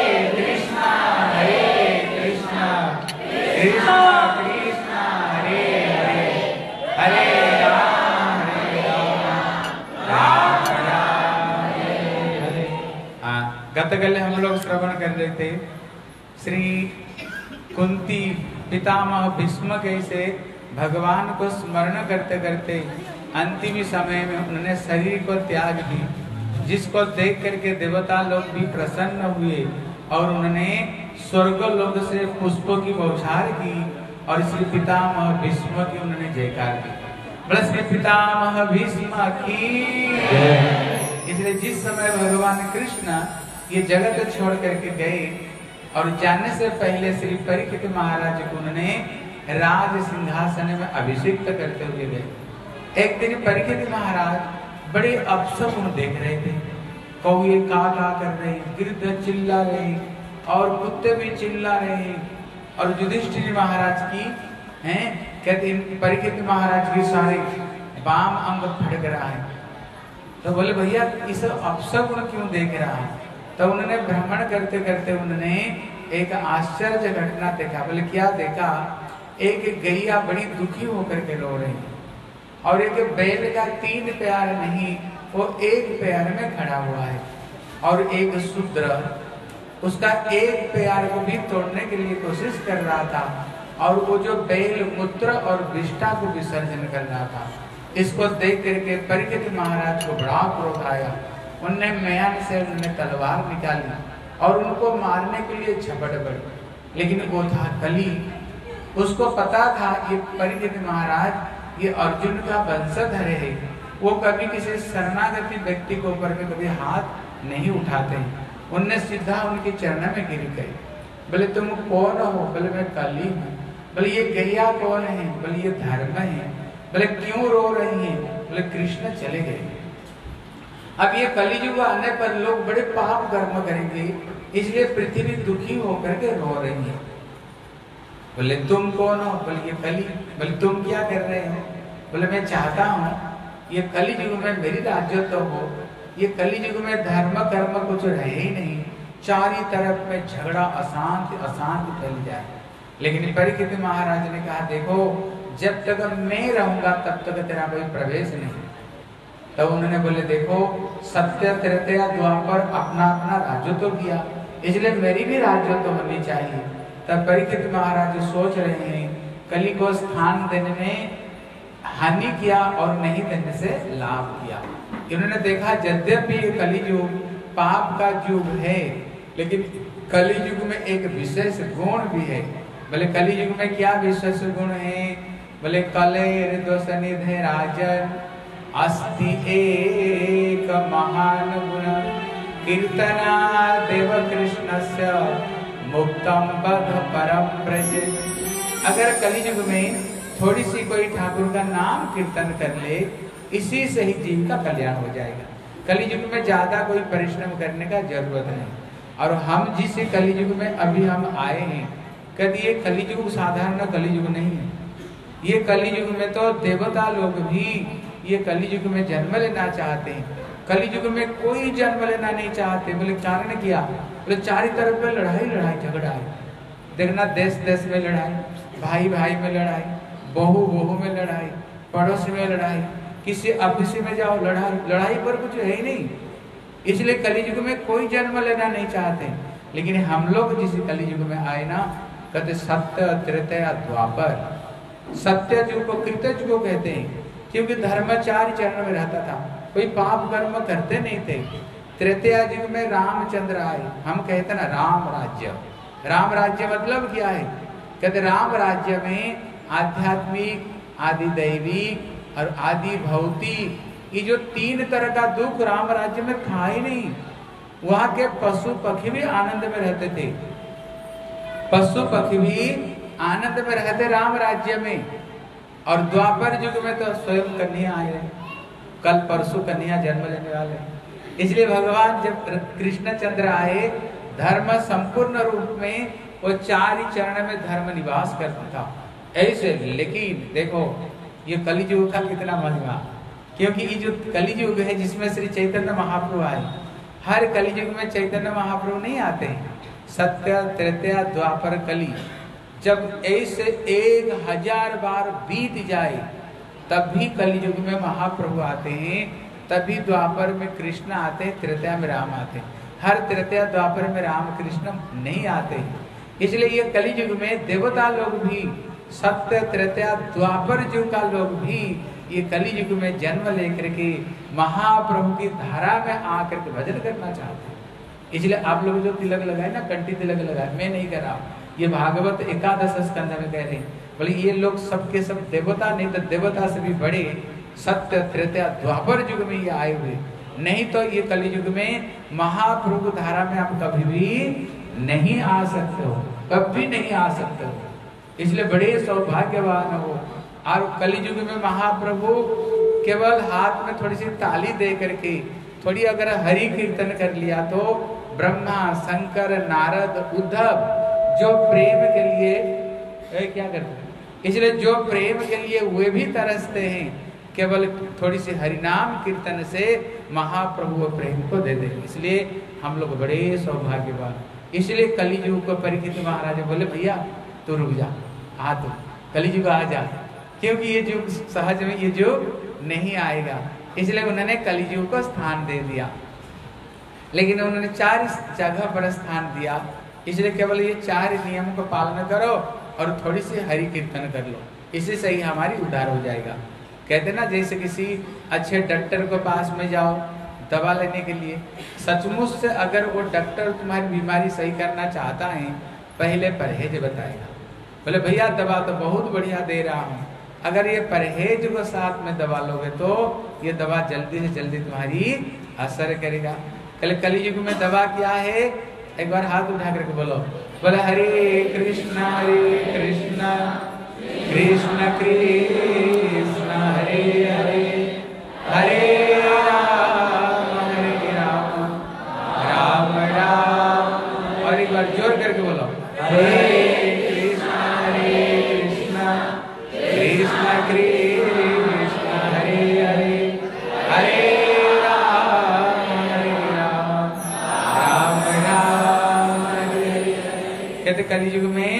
ये सबसे मीठी दवा है, हैं? लेकिन दवा तो बड़ी मीठी है, लेकिन ये परहेज को साथ में लेनी चाहिए। परहेज भी कोई बहुत कठिन चीज़ नहीं, परहेज भी बहुत सरल चीज़ है। पहला नंबर जुआ नहीं खेलनी चाहिए। आप लोग तो कोई जुआ खेलते नहीं। दूसरा नंबर कोई नस्ली वस्तु मत लो।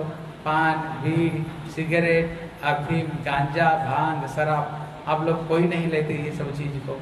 इससे भी फ्री लेकिन थोड़ा चाय कोशिश करना चाय को भी छोड़ने के लिए, ठीक है ना? इसलिए चाय, उसमें निकोटिन डालते हैं, कभी निकोटिन है। अब रामदेव बाबा का जोगा देखो, एकदम चाय लेने के लिए मना करता है। बोले, चाय पीने से खाली पेट में इसमें जहर है, उसमें गैस्ट्रिक बनेगा, बीमारी पड़ोगे। हर्बल टी लो, गोकुल टी लो, प्रज्ञा लो, जिसमें जड़ी बूटी से बना हुआ है, जो हेल्थ के लिए तुम्हारी अच्छी है। चाय एकदम नहीं लेनी चाहिए। तीसरा नंबर है स्त्रियों। बोले, स्त्रियों को ऊपर में कली का निवास। बोले, कौन सा स्त्री है? बोले, जो अवैध रूप में स्त्री दूसरे पुरुष से संबंध रखता है। जो पुरुष अवैध रूप में दूसरे स्त्रियों को ऊपर में साथ में संबंध रखता है। इसलिए इसको करने से इसमें तुम्हारी पवित्रता नष्ट हो जाएगा। संसार करो, शादी करके अपना पति को साथ में धर्म पूर्वक अपना घर गृहस्थ को निभानी चाहिए। अधर्म अधर्म अधर्म पूर्वक कभी भी नहीं करनी चाहिए। पंचम स्कंद को पढ़ करके आप देखना, जो पुरुष बगैर स्त्री से, अपना स्त्री के बगैर दूसरे पुरुष को साथ में रहता है, वह उसको अवैध संग करता है, मरने के बाद लोहे की स्त्री गर्म करके उसको ज़ोर ज़बरदस्ती आलिंगन कराया जाता है। और वो लड़के को भी, स्त्री स्त्री को भी लड़के को साथ में। ये पंचम स्कंध में वर्णन आया है। ये चीज़ से हमें दूर रहनी चाहिए। और जो चौथा जो चीज़ है, जीव हिंसा नहीं करनी चाहिए। मांस, मछली, अंडा और ये प्याज, लहसुन भी नहीं लेनी चाहिए। क्योंकि ये प्याज भी हर साल में कथा सुनाता हूँ, प्याज ये गैया का मांस से ये प्याज बना, गैया का हड्डी से ये लहसुन बना है इसलिए नवरात्रि आने पर ये नौ दिन तक ये प्याज, लहसुन को कोई ग्रहण नहीं करते क्योंकि माता जी को भी पसंद नहीं और पिताजी कृष्ण को तो पसंद है ही नहीं। ऐसे नहीं, नौ दिन तक दुर्गा दुर्गा फिर दुर्गा मुर्गा करो। हाँ इसलिए ये सब चीज़ से दूर रह करके जो कुछ खाओ, ठाकुर जी को भोग लगा कर खाओ, भोग लगा कर खाओ और जीवन पा कर क्या करो भगवान की भक्ति करो। इन्होंने कलिजीव को उन्हें चार स्थान पर जगह दे दिया और उन्होंने परीक्षित महाराज और एक दिन जब जंगल में गए थे, बड़े प्यास लगा तो जब ऋषि को पास में पानी मांगने के लिए गए वो ऋषि भजन कर रहे थे, गले में उन्होंने मरा हुआ सर्प को डाल दिया। जब उसको बेटे को पता चला, उन्होंने अभिशाप दे दिया। बोले, जिसने मेरे पिताजी के गले में ये मरा हुआ सर्प डाला, मैं उनको अभिशाप देता हूँ। सप्तम दिवस में उनको तक्षक दर्शन करेगा। उन्होंने उनको अभिशाप दे दिया। परीक्षित महाराज सुन करके दुखी नहीं हुए खुश हो गए। बोले क्यों? बोले मरने से देखना एक सेकंड पहले हमें पता नहीं चलता मैं मर सकता हूँ। अब देखना बैठ बैठ कर वहीं लुढ़क जाते हैं। हाँ, बैठ बैठ करके वहीं लुढ़क जाते हैं। इसलिए एक सेकंड पहले नहीं लेकिन इनको क्या बोले? सात दिन में तू मरने वाले। मतलब सात दिन के अंदर में मरने वाला नहीं। मरूँगा तो सात दिन को बाद में मरूँगा। अगर हम लोग होते हैं ना क्या करते बोले सात दिन को बाद में मरना। ए, जितने बढ़िया बढ़िया खाओ पियो ऐसे करके जीवन को बिताओ। लेकिन उन्होंने ये नहीं किया उन्होंने क्या किया? घर बार छोड़ करके अपना बच्चे को उन्होंने श्री राज सिंहासन में अभिषिक्त करते हुए अब जो शुक्र ताल है यहीं पर ही परीक्षित महाराज गंगा का चरणों का आश्रय करते हुए गंगा कौन है? ठाकुर जी की चरणामृत मानो उन्होंने कृष्ण की चरण को उन्होंने आश्रय ग्रहण किया और वहाँ पर अठासी हज़ार ऋषि लोग आए। परीक्षित महाराज कह रहे हैं, मेरे ऊपर में अभिशाप नहीं, ये ठाकुर का वरदान है। क्यों? जीवन में एक संत दर्शन करना बड़े सौभाग्य की बात है। एक संत। लेकिन कितना संत बैठे हुए थे? अठासी हज़ार। बोले, मेरे ऊपर में तो ठाकुर जी की विशेष कृपा है। तो उन्होंने प्रश्न किया है एक ना एक दिन सबको मरना है। आज हो, कल हो, परसों हो और बरसों हो, सबको एक दिन ना एक दिन सबको मरना है। इसका क्या कर्तव्य है? लेकिन ऋषि लोगों ने बोले, नासो मुनिर्जस मतम न भिन्नम अलग अलग ऋषियों ने अलग अलग उन्होंने उत्तर दिया। इस समय में उन्होंने देखा, यद्यपि ये लोग शास्त्रार्थ में लगे हुए हैं, लेकिन एक ही सिद्धांत में पहुँचेंगे सब शास्त्र एक ही बात कहता है, श्रोतव्य कृतितव्य स्मर्तव्य इच्छता भय अगर वास्तव रूप में जीवन में कोई अभय पाना चाहते हैं, क्या तो उनको तीन काम करनी चाहिए। भगवान की कथा सुननी चाहिए, भगवान का कीर्तन करनी चाहिए और भगवान का स्मरण करनी चाहिए। ये तीनों से ही जीव का कल्याण। लेकिन का वर्षा से हम कृषि सुखाई मेरे पास में तो कुल सात ही दिन है। हैं? लेकिन ये तो शास्त्रार्थ में लग पड़े। तब उन्होंने ठाकुर जी की चरण में शरणागत तो हो गए। फिर भगवत इच्छा से श्री सुखदेव गोस्वामी प्रकट हुए। बोले, श्री सुखदेव गोस्वामी की अरे ज़ोर से बोलो। बोले, श्री सुखदेव महाराज की जब सुखदेव गोस्वामी आए, तब उन्होंने उनको यही प्रश्न किए। बोले, अतः पृछा में संसिधि जोगिना परम गुरु पुरुषस्य जत कर्तव्य म्रियमाणस्य सर्वथा। बोले, एक दिन ना एक दिन सबको मरना पड़ेगा। हम सब मरणशील हैं इसलिए जगत में इसे कौन सा चीज़ है जिसको पाने पर जीव को सब कुछ मिल जाए? किसी चीज़ के अभाव नहीं रहेगा लेकिन ये जगत में देखना, भले ही हमें जितने कुछ क्यों नहीं मिल जाए हम तृप्ति नहीं होते। कहते ना कमाई करो कमाई करो। कमाई मतलब कम आय और ज़्यादा आनी चाहिए। आप लोग थोड़े थोड़े आगे आ जाओगे। माताएँ थोड़े थोड़े उधर आगे चले इसलिए इस जगत में कोई तृप्त नहीं होते हैं। लेकिन जगत में ऐसे कौन सा वस्तु जिसको पाने से जीव की संपूर्ण रूप में जीव तृप्त हो जाए? हैं? ऐसे जगत में कौन सा वस्तु है? और हमको क्या करनी चाहिए? क्या नहीं करनी चाहिए। और वास्तव रूप में जीव का आत्मा कल्याण कैसा हो जब उन्होंने ये प्रश्न की तब उन लोग तब इसको सुन करके श्री सुखदेव गोस्वामी परम संतुष्ट हो गए। बोले बरिया सत्य प्रश्न कृत नृप। बोले, आपने जो प्रश्न किया है, बहुत सुंदर प्रश्न किया। जो प्रश्न को कहते जो आत्मा में जो रमण करने वाले ऋषि लोग भी तुम्हारी प्रश्न को सराहना करेंगे। बोले, देखो, भगवान ये जो जीवन दिया है कहते ये लाख चौरासी ब्रह्म के ये नरद अनुदय ये चौरासी लक्ष जन्म के बाद में एक बार ये जीवन हमें ठाकुर देते हैं। कोई बात मत करो, चुपचाप बैठ जाओ। लेकिन लेकिन ये जीवन तो बड़ा भाग्य से मिला है, लेकिन ये जीवन कैसे है? कोई बात मत करो, चुपचाप बैठ जाओ। बाद में आओगे बात करो। हरे कृष्ण आप लोग थोड़ी थोड़ी इधर उधर बैठे इधर वो जगह खाली पड़ा है। इसलिए कहते ये जीवन बड़े अनमोल जीवन भगवान ने दिया है। कहते ये मानव शरीर नहीं कहते तो मानव ठाकुर जी हमें कोहिनूर हीरे हमें प्रदान किया। क्या प्रदान किया हमें? कोहिनूर हीरे ठाकुर जी हमें प्रदान किया। इसलिए ये जीवन को पा करके हमें भगवान की भक्ति में ये जीवन को लगा देनी चाहिए। ये जीवन को हमें नष्ट नहीं करनी चाहिए। एक बार हाथ उठा करके बोलो बोलो, हरे कृष्ण हरे कृष्ण कृष्ण कृष्ण, हरे हरे हरे राम हरे राम राम राम। और एक बार ज़ोर करके बोलो बोलो, हरे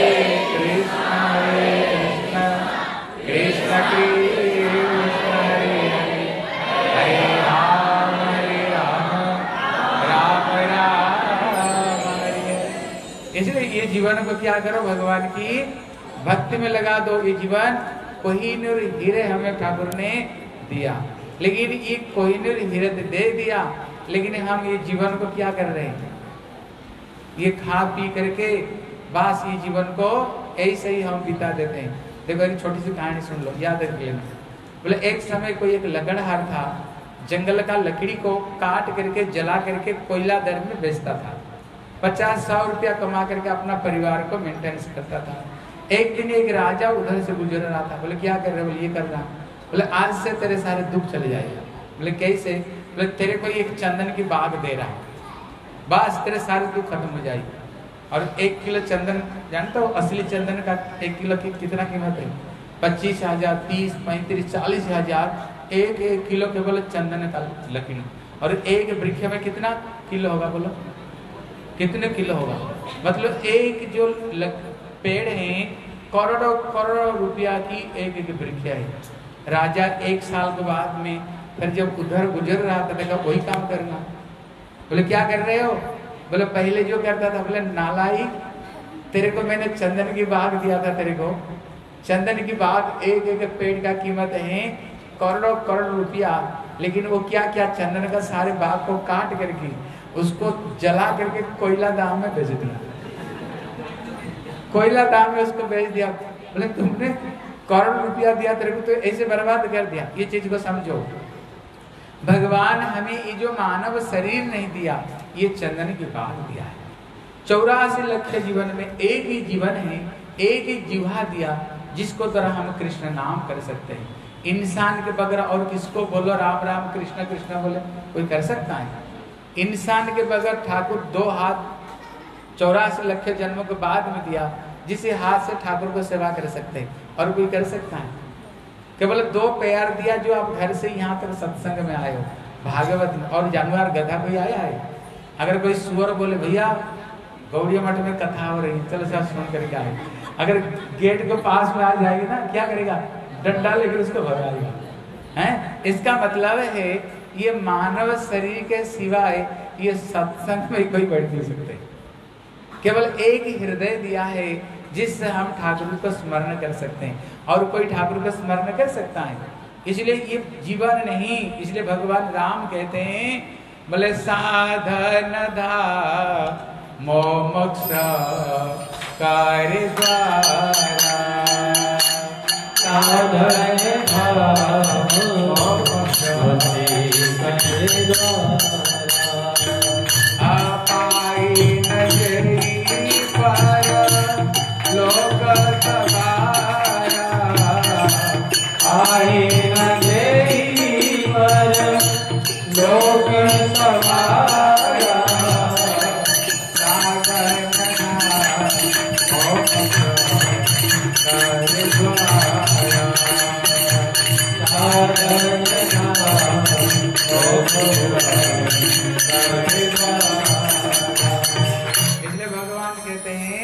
ये मानव शरीर नहीं, बोले साधन धाम। मतलब इसी शरीर से ही भगवान की भक्ति कर सकते हो। लेकिन ये पाई न जई पर लोग सवर। जिनको ठाकुर ने तो मानव शरीर दे दिया, लेकिन जो परलोक को सवारने के लिए जो कोशिश नहीं किया, दूसरे लाइन में कहते हैं, फिर तो भैया सर पिटते रह जाओगे, जैसे सब पेड़ खड़े हुए।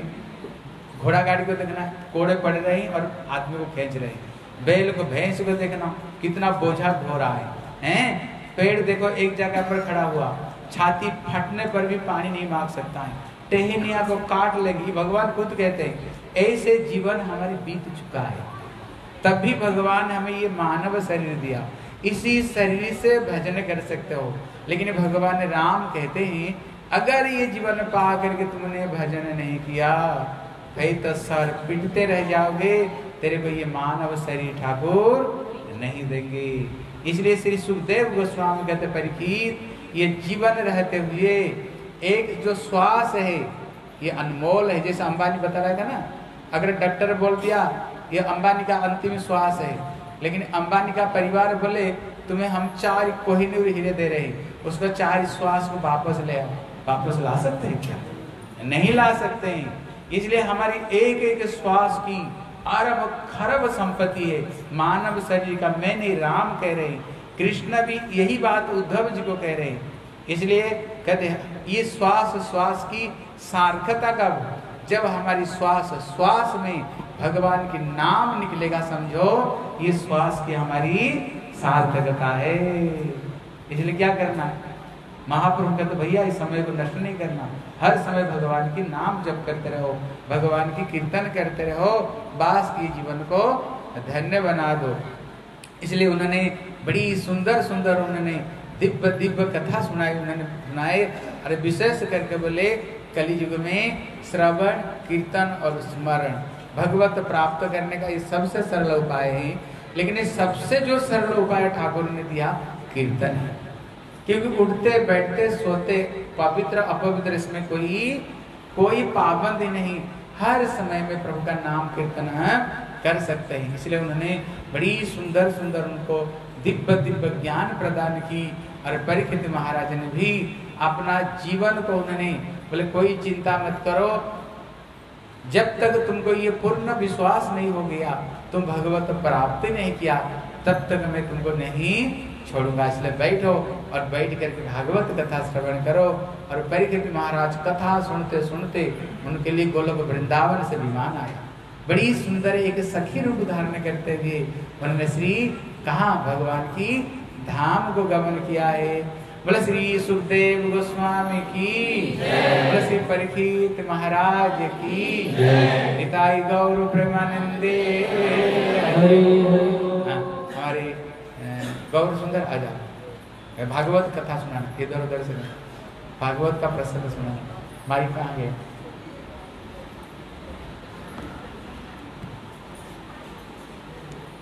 हरे कृष्ण, हरि बोल, हरे कृष्ण माइक वाले, इसका साउंड तेज कर। है है कि नहीं? हरे, हरि बोल। हरे हरे कृष्ण, हरि बोल। हरि बोल। अज्- अज्ञानतिमिरान्धस्य ज्ञानाञ्जनशलाकया। चक्षुरुन्मिलितं येन तस्मै श्रीगुरुवे नमः। वाञ्छाकल्पतरुभ्यश्च कृपासिन्धुभ्येव च। पतितानां पावनेभ्यो, वैष्णवेभ्यो नमो नमः। श्रीकृष्णचैतन्य प्रभुनित्यानन्द श्री अद्वैत गदाधर शिवसदि गौर भक्त एक बार सभी हाथ उठाकर बोलिए। बोलो हरे कृष्णा हरे कृष्णा कृष्णा कृष्णा हरे हरे हरे राम हरे राम राम राम थोड़ा ज़ोर करके बोलो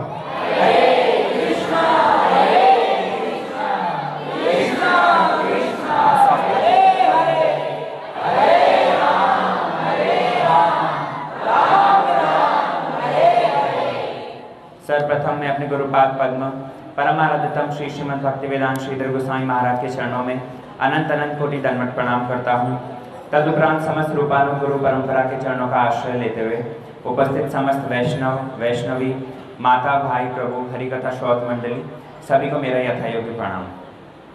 श्रीमद् भागवतम के अंतर्गत हम अभिश्रवण कर रहे थे किस प्रकार जब श्री परीक्षित महाराज श्रापग्रस्त हुए, श्री सुखदेव गोस्वामी का वहाँ पर आगमन हुआ है और परीक्षित महाराज ने अपने वंश के विषय में और किस प्रकार भगवान ने सृष्टि का आरंभ किया, उसके लिए प्रश्न किया।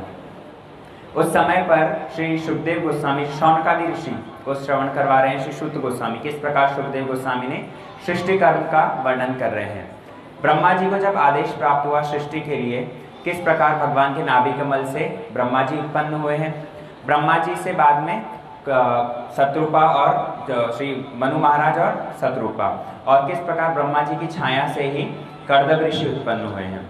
अभी मनु शत्रुपा की पाँच दो तीन कन्या हुई देवहूति आकुति और प्रसूति और दो पुत्र हुए प्रियव्रत और उत्थान पात तो ये देवहूति आकुति प्रसूति इसमें से जो मंजली बेटी है प्रसूति प्र, देवहूति इस देवहूति की विवाह हुआ करदब ऋषि से।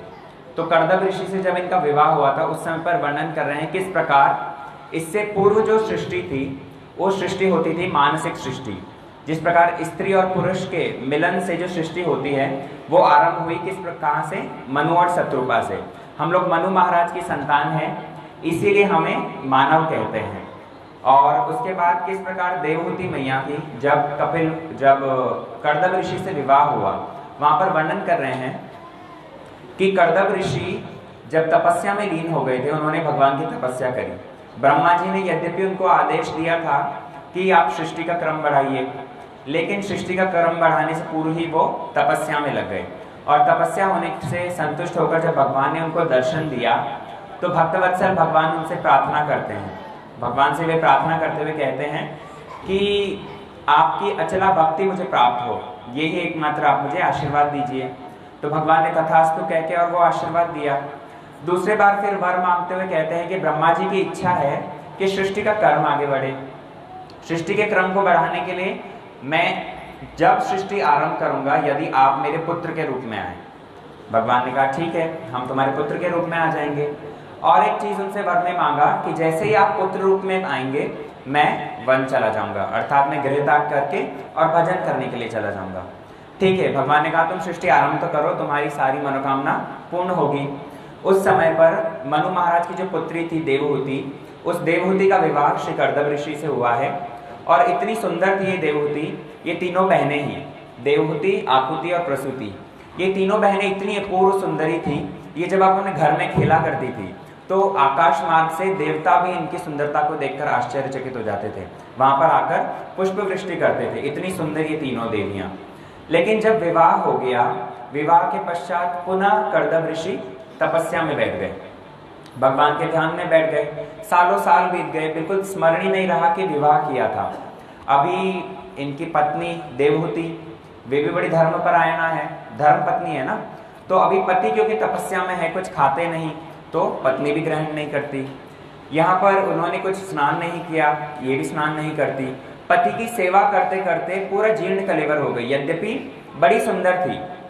यहाँ पर टीकाकार लोग बतलाते हैं कि जैसे एक पुरुष को सुयोग होता है कि वो गुरु ग्रह में जाके और गुरुदेव की सेवा कर सके। ब्रह्मचर्य जीवन जब पालन करते, पहले के समय में तो ऐसा ही होता था। ब्रह्मचर्य, गृहस्थ, वानप्रस्थ और संन्यास। इस प्रकार चार आश्रम होते थे।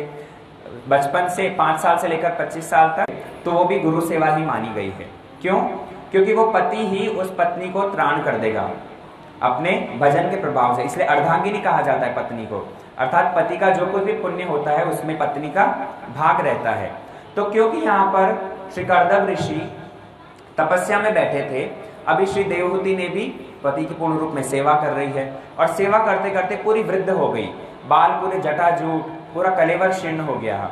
जब करदम ऋषि की बाद में तपस्या टूटी उस समय पर सामने देखकर पहचान ही नहीं पा रहे थे। पूछा, बोले, देवी, तुम कौन हो? बोले, आप भूल गए, आपने कभी विवाह भी किया था। बोले अच्छा तुम वही देवहूति हो? बोले हाँ। बोले, बतलाओ, क्या इच्छा है? तुम्हारी क्या इच्छा है? बोले, आप सदगृहस्थ होने के लिए आए हो और गृहस्थ की शोभा तो संतान से ही होती है। आप भूल गए, आपने ब्रह्मा जी से सृष्टि आगे बढ़ाने का वादा किया था। बोले, ठीक है। उसी समय पर श्री कर्दम ऋषि ने देवहूति से कहा, तुम जाकर बिंदु सरोवर में स्नान करो। जैसे ही बिंदु सरोवर में स्नान करने गई है स्नान करके जैसे ही बाहर निकली, अपूर्व सुंदरी नव यौवन को प्राप्त हो गई। हज़ार दास दासियों के साथ में और वहाँ से बाहर निकली है। देव, यहाँ पर कर्दम ऋषि ने भी बड़ा सुंदर एक विमान की सृष्टि करी, जिसके अंदर अपूर्व वातावरण, वहाँ पर सुंदर सरोवर हैं। राजहंस वहाँ पर क्रीड़ा कर रहे हैं। कमल के पुष्प खिले हुए हैं। सुंदर झरने वहाँ पर है। उस विमान में यदि कोई बैठ जाए, उसको भूख, प्यास कुछ नहीं लगेगा। और जिस प्रकार की कामना है, उस कामना के अनुसार ही वो गमन करता था। इसलिए विमान का नाम रख दिया कामक विमान का नाम रख दिया कामक उस विमान के अंदर दोनों पति पत्नी ने पूर्ण रूप में विचरण किया। उसमें भ्रमण करते करते उपयुक्त समय होने पर बाद में कर्दव ऋषि और देवहूति को नौ कन्या हुई। नौ कन्या की प्राप्ति हुई। अब कर्दव ऋषि बोले, भैया, देखो तुमने संतान के लिए कहा था। तुमने कहा था, एक संतान हो गई है, नौ संतान। अब अपने राम चले भजन करने को। हम तो चले भजन करने को। कर्दव ऋषि को यहाँ पर प्रार्थना करती हुई देवती कहती कि, देखो, ये तो कन्याएँ हैं। अगले दर अपने कुछ समय बाद में ससुराल चली जाएँगी। तो आपने भगवान से प्रार्थना करी थी कि वे पुत्र रूप में आएँगे। तो इसलिए आप दया करके मुझे पुत्र दीजिए।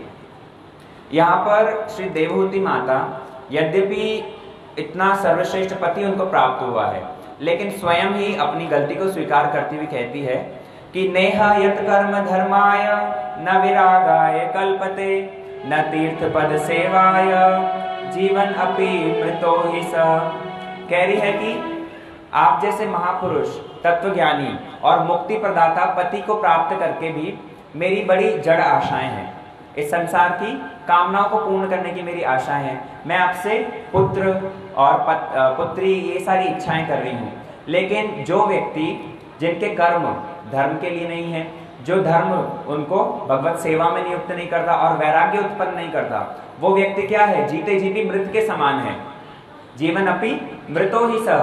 वो व्यक्ति जीते जीवी मृत के समान है जिसका जीवन भगवत सेवा में नियुक्त नहीं हुआ। देवहूति अपनी हीनता को, अपनी जो गलती है उसको स्वीकार करते हुए अपने पति से कहती है कि, हे प्रभु, आप ही मेरे उद्धार का उपाय कीजिए, आप ही मेरे इस संसार से उद्धार का उपाय कीजिए।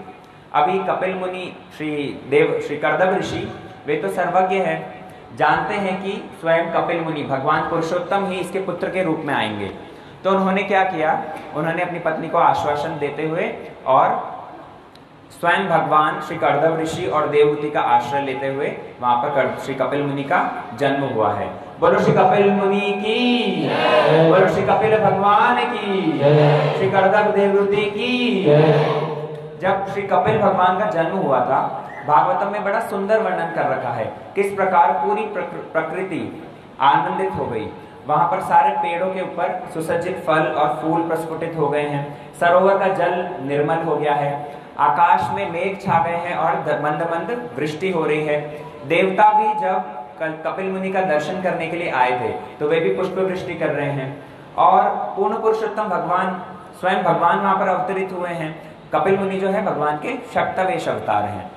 तो जब भगवान कपिल देव वहाँ पर जन्म लिए हैं तो उस समय पर ब्रह्मा जी भी अपने सभी ऋषि पुत्रों के साथ में भगवान के दर्शन करने आए। ब्रह्मा जी को आकर देख के और कर्दव ऋषि भी बड़े आनंदित हुए। कर्दव ऋषि जब भगवान का दर्शन करके और जा रहे थे ब्रह्मा जी वापस, उनसे कहने लगे कि देखो आपकी नौ बेटियाँ और मेरी, आपके नौ बेटे और मेरी नौ बेटियाँ। ये जोड़ी तो बड़ी अच्छी है। ब्रह्मा जी भी कहने लगे, शुभम शीघ्रम। नारद जी ब्रह्मा जी के दस मानस पुत्र हैं। तो नारद जी उस समय पर कहीं भ्रमण के लिए गए हुए थे और बाकी नौ उस दिन आए हुए थे ब्रह्मा जी के साथ में। तो इनकी नौ बेटे और कर्दव ऋषि की नौ पुत्री। इन दोनों का यथारूप विवाह हो गया और नारद ऋषि जो भ्रमण कर रहे थे, नारद ऋषि आज भी भ्रमण ही कर रहे हैं। नारद ऋषि तो ब्रह्मचारी हैं हाँ बचपन से ही विरक्त संत हैं। तो इसलिए बाकी नौ पुत्रों का विवाह हो गया कर्दव ऋषि की नौ पुत्रियों के साथ में। घर पूरा खाली हो गया।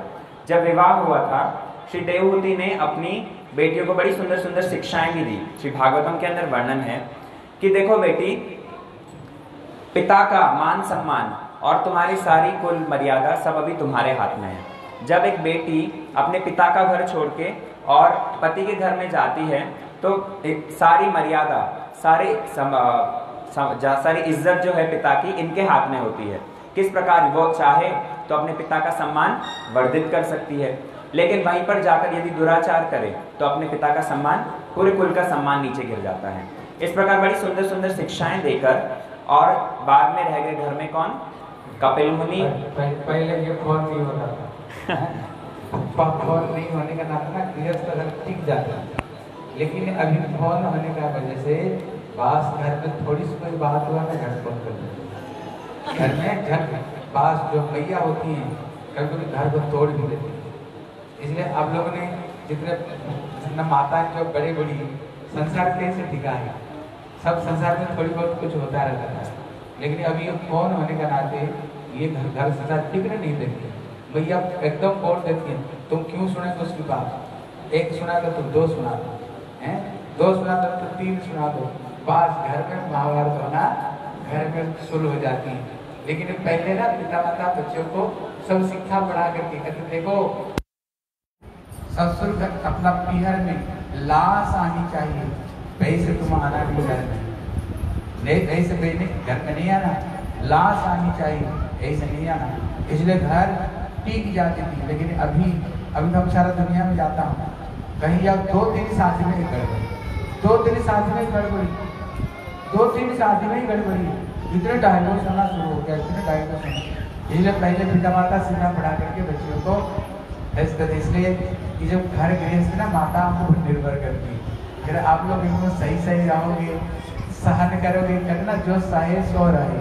और जो ना सही हो, नाश हो जाए। इसलिए हर चीज़ को सहन करते रहेंगे तो मेरी गृहस्थी टिक सकती इसलिए जब वो शादी करके जा रही थी, तब उन्होंने पिताजी उसको अच्छे तरह से लिखा पढ़ा करके भेजते थे।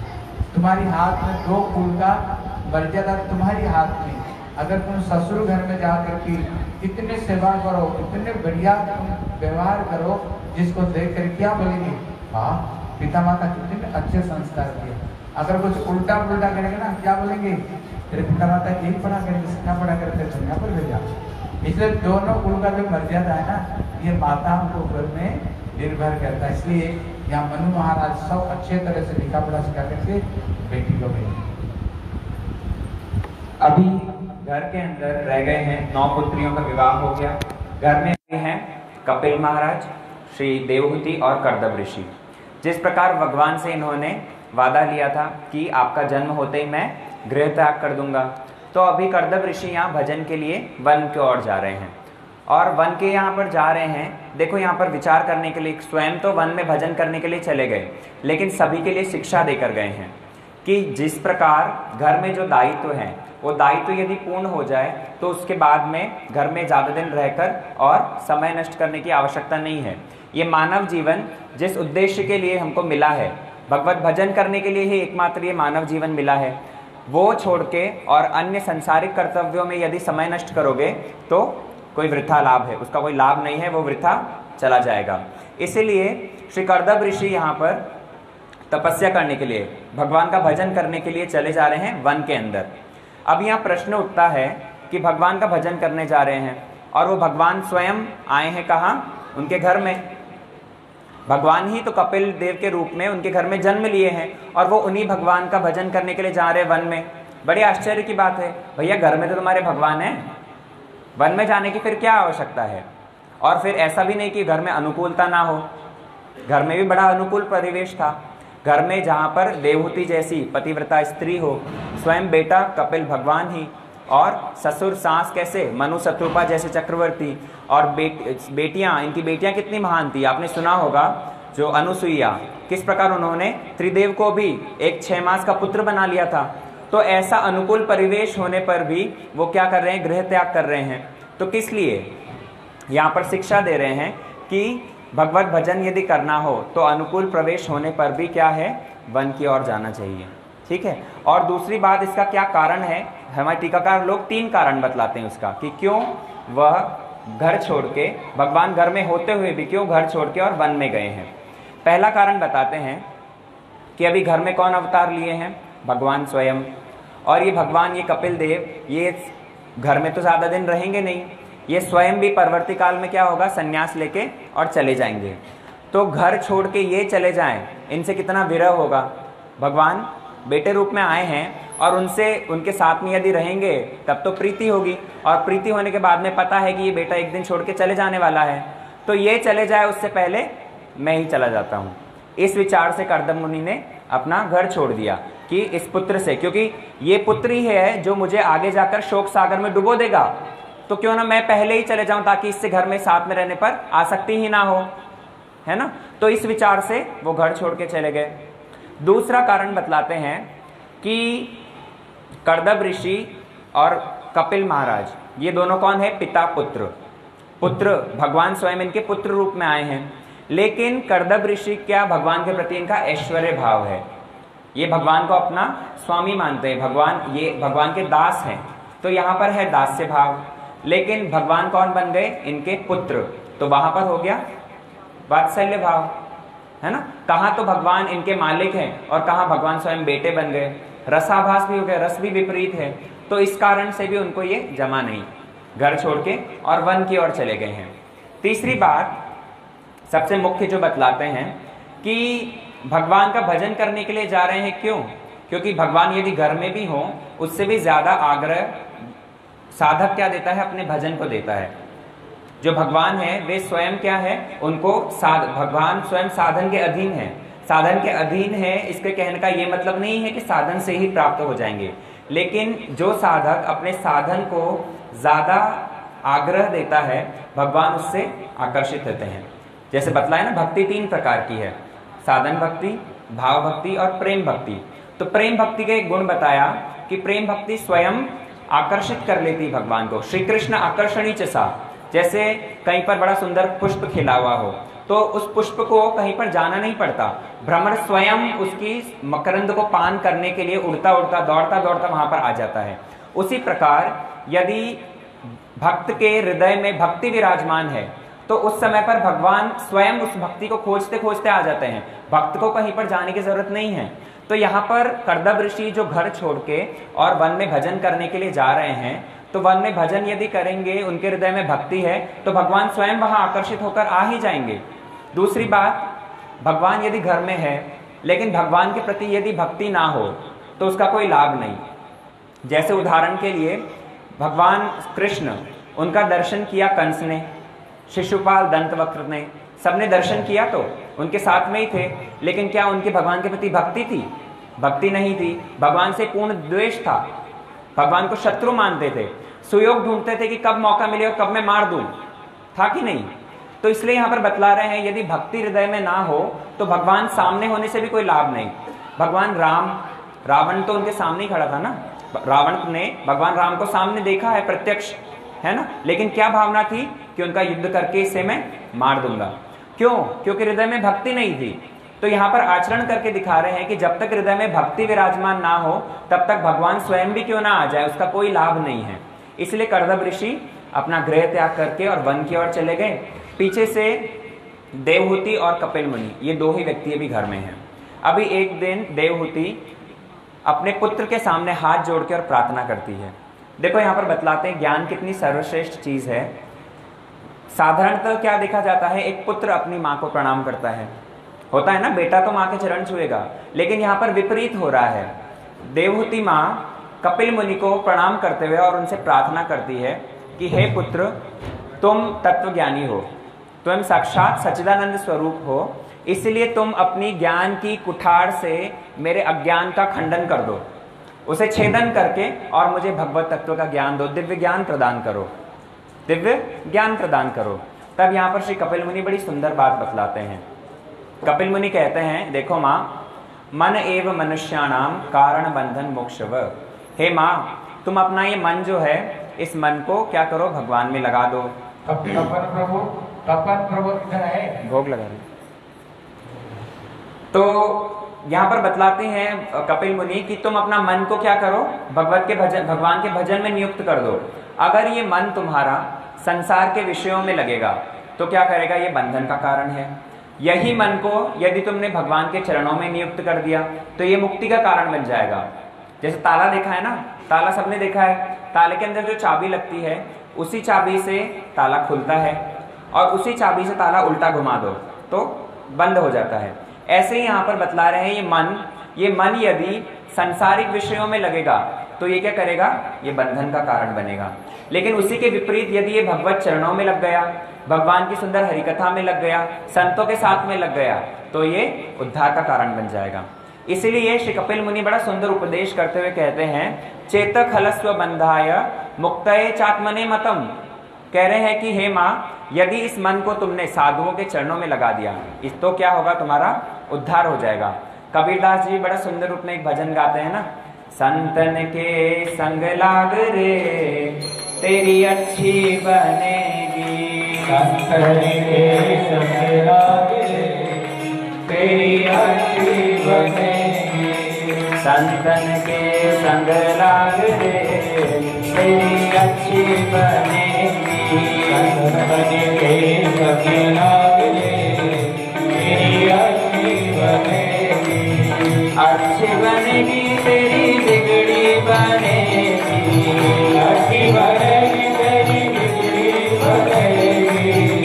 अच्छी बनेगी तेरी किस्मत जगेगी। अच्छी बनेगी तेरी किस्मत जगेगी। होए तेरो भाग रे तेरी अच्छी बनेगी।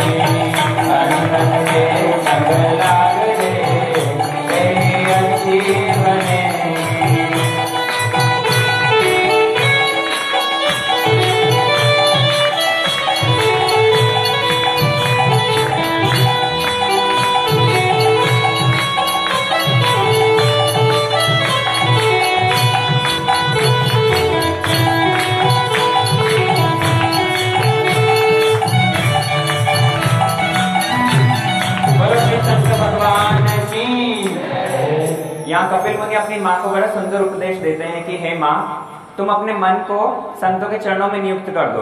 देखो संघ का प्रभाव तो पड़ेगा ही। यदि कोई एक अच्छा व्यक्ति चोरों का संग करता है तो उसमें भी चोरी के गुण आ जाते हैं। है ना? कोयले की खान में जाओ और काला ना लगे तो ऐसा तो हो नहीं सकता। तुम संतों के चरणों में जाओगी, संतों से हरिकथा श्रवण करोगी। ऐसा कभी हो ही नहीं सकता कि तुम पे उनका रंग ना चढ़े। अभी यहाँ देवहूति मैया प्रश्न करती है कि, बेटा, तूने तो कह दिया कि संतों के साथ रहो। संतों का कुछ लक्षण तो बताओ। संतों के? कुछ लक्षण तो बता दो, मैं कैसे पहचानूँगी कौन संत है, कौन नहीं है? तब यहाँ कपिल मुनि कहते बोले, माँ हाँ ये तुमने बड़ा अच्छा प्रश्न किया। क्यों? क्योंकि देखो, नकली चीज़ जो है ना, वो असली से भी ज़्यादा बढ़िया लगती है। मार्केट में सोना खरीदने जाओगे तो असली सोने से ज़्यादा जो पॉलिश होता है, ज़्यादा चमकता है। है ना? घी, जो देसी घी होता है, उसकी बजाय जो डालडा होगा ना, उसमें ज़्यादा खुशबू आएगी। देखोगे, नकली घी के अंदर ज़्यादा खुशबू आएगी। तो इसलिए यहाँ कपिल मुनि स्वयं कहते हैं कि ऐसा नहीं है कि बाहर से जिसने जो संत वेश ले लिया, जो भगवा वस्त्र यदि धारण कर लिया, वो ही संत बन गया।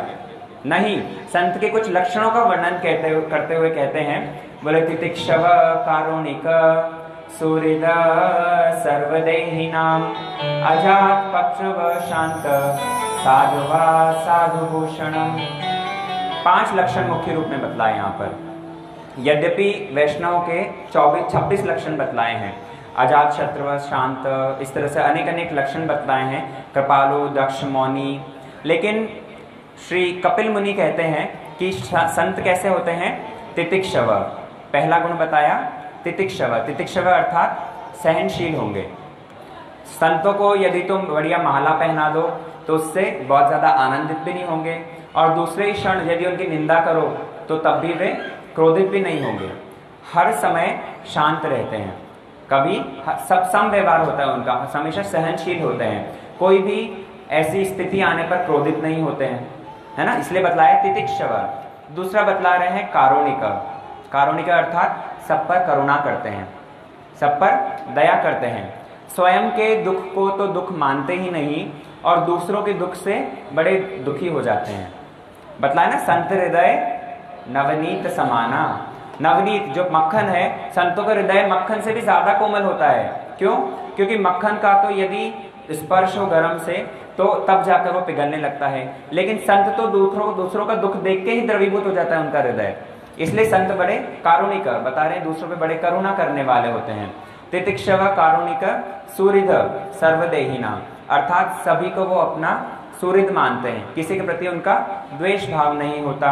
अजात शत्रव अजात शत्रव बतला रहे हैं, उनका कोई शत्रु नहीं होता। उनका कोई शत्रु नहीं होता। समाज में कई ऐसे लोग होंगे जो सदमार्ग पर चलने वाले साधुओं को भी अपना शत्रु मानते हैं। लेकिन साधु किसी को भी अपना शत्रु नहीं मानते। किसी को भी अपना शत्रु नहीं मानते।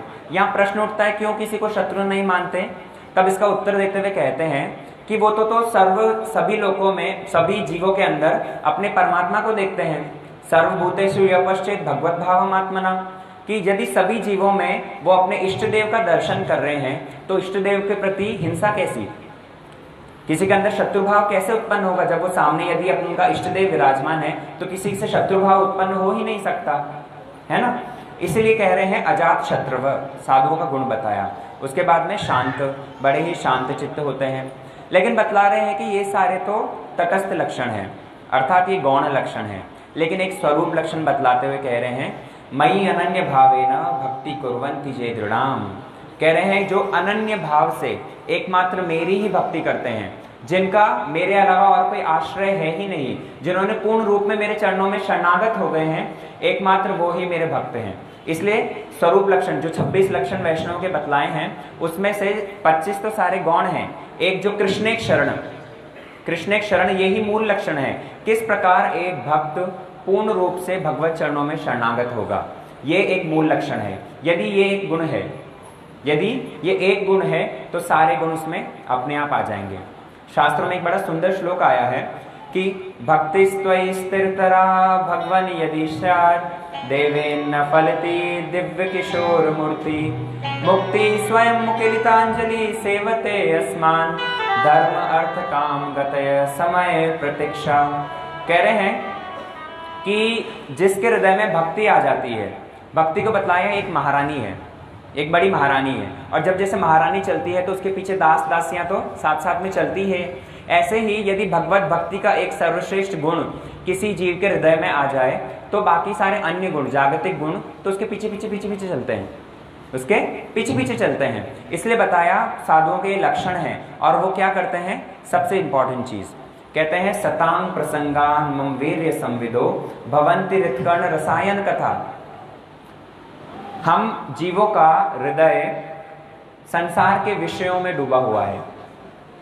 काम, क्रोध, लोभ, मोह, मद, मात्सर्य इनसे भरा हुआ है। संसार की चर्चा में, इन्हीं सब विषयों में भी हमारा हृदय पूर्ण रूप से मलिन है। लेकिन संत क्या करते हैं? संत एवं छिंदंती मनोव्यासंगम उत्ति भी कह रहे हैं, संत भगवान की अपूर्व महिमा का वर्णन करके और हमारे चित्त को द्रवीभूत कर देते हैं। हमें भगवान के सुंदर ऐश्वर्य, उनका माधुर्य, उनके सुंदर सुंदर लीलाएँ सुनाकर क्या करते हैं? हमारे हृदय को द्रवीभूत कर देते हैं। और जब ये हृदय द्रवीभूत हो जाता है, जब ये हृदय पिघल जाता है, उस समय पर उसको विवेक रूपी शासन करते हैं। जैसे लोहा देखा है? लोहे से लोहा कितना सख्त होता है? लेकिन लोहे से, उसी लोहे से कितने सुंदर सुंदर बर्तन बनते हैं? कैसे? लोहे को आग में देते हैं। आग में जलाते हैं, पूरा तप्त तो हो जाता है। जब वो पूरा द्रवीभूत हो जाता है, उस समय पर उस पर हथौड़ा मारते हैं। है ना? उसी प्रकार उदाहरण दे रहे हैं कि हमारा हृदय तो वज्र के, लोहे के समान कठोर है, लेकिन संत अपनी कथा से क्या कह रहे हैं? सतांग प्रसंगाम मम वीर संविदो भवंती ऋतकर्ण रसायन कथा। अपनी वीरवती कथाओं से हमारे इस कठोर हृदय को द्रवीभूत कर देते हैं और द्रवीभूत करने के बाद में विवेक रूपी हथौड़ा उसके ऊपर मार के और कहते हैं, रे मूड मन, तू क्यों भगवान का भजन नहीं करता? जिन भगवान की ऐसी अपूर्व महिमा है, जे जो इतने गुणानवर है, जे जिनके इतने अनेक गुण है, तुमने उन भगवान का भी भजन नहीं करते। श्री तुलसीदास जी वर्णन करते हैं रामायण के अंदर। जब भगवान राम ने अहिल्या का उद्धार कर दिया तो अहिल्या तो नाचते हुए, आनंदित होते हुए क्या कर रही है? पति लोग को गमन कर रही है। लेकिन भगवान राम यहाँ पर दुखी हो रहे हैं कि, ओहो, मैंने क्या कर दिया? मैंने एक ऋषि पत्नी के सर पे अपना चरण छुआ दिया। भगवान के चरण छुआने से तो कहा पत्थर भी अहिल्या बन गई और वो भगवत वो अपने पति लोग को गमन कर रही है, आनंद में। लेकिन भगवान यहाँ पर दुखी हो रहे हैं। भगवान का मुख मुरझा गया। तो तुलसीदास जी कहते हैं, अपने मन को शासन करते हुए कहते हैं कि, हे शठ मन, तुम क्यों ऐसे भगवान का भजन नहीं करते? कितने करुणा से परिपूर्ण बतलाते हैं, भगवान कैसे हैं? एक माँ के हृदय में अपने पुत्र के लिए कितना वात्सल्य होता है। कुछ भी हो पुत्र भले ही अपनी माँ का कितना ही विरोध क्यों ना करे, लेकिन फिर भी माँ अपने पुत्र का हमेशा अच्छा सोचती है। है कि नहीं? ऐसे कोटि कोटि माँ का वात्सल्य यदि एकत्रित कर लें तो ऐसा भगवान के अंदर वात्सल्य है। प्रत्येक जीव के प्रति। तो ऐसे वात्सल्यपूर्ण भगवान का यदि हम भजन नहीं करते तो हमारे जैसा पापी और कोई होगा? कोई नहीं होगा। इसलिए बता रहे हैं, सतान प्रसंगाम मम वीर्य संविदो भवंती ऋतकर्ण रसायन कथा, कि संतों का संग करो। प्रसंग, कहते संग नहीं, प्रसंग। देखो, संतों का संग कैसे? साथ साथ में रहने से संग नहीं होता।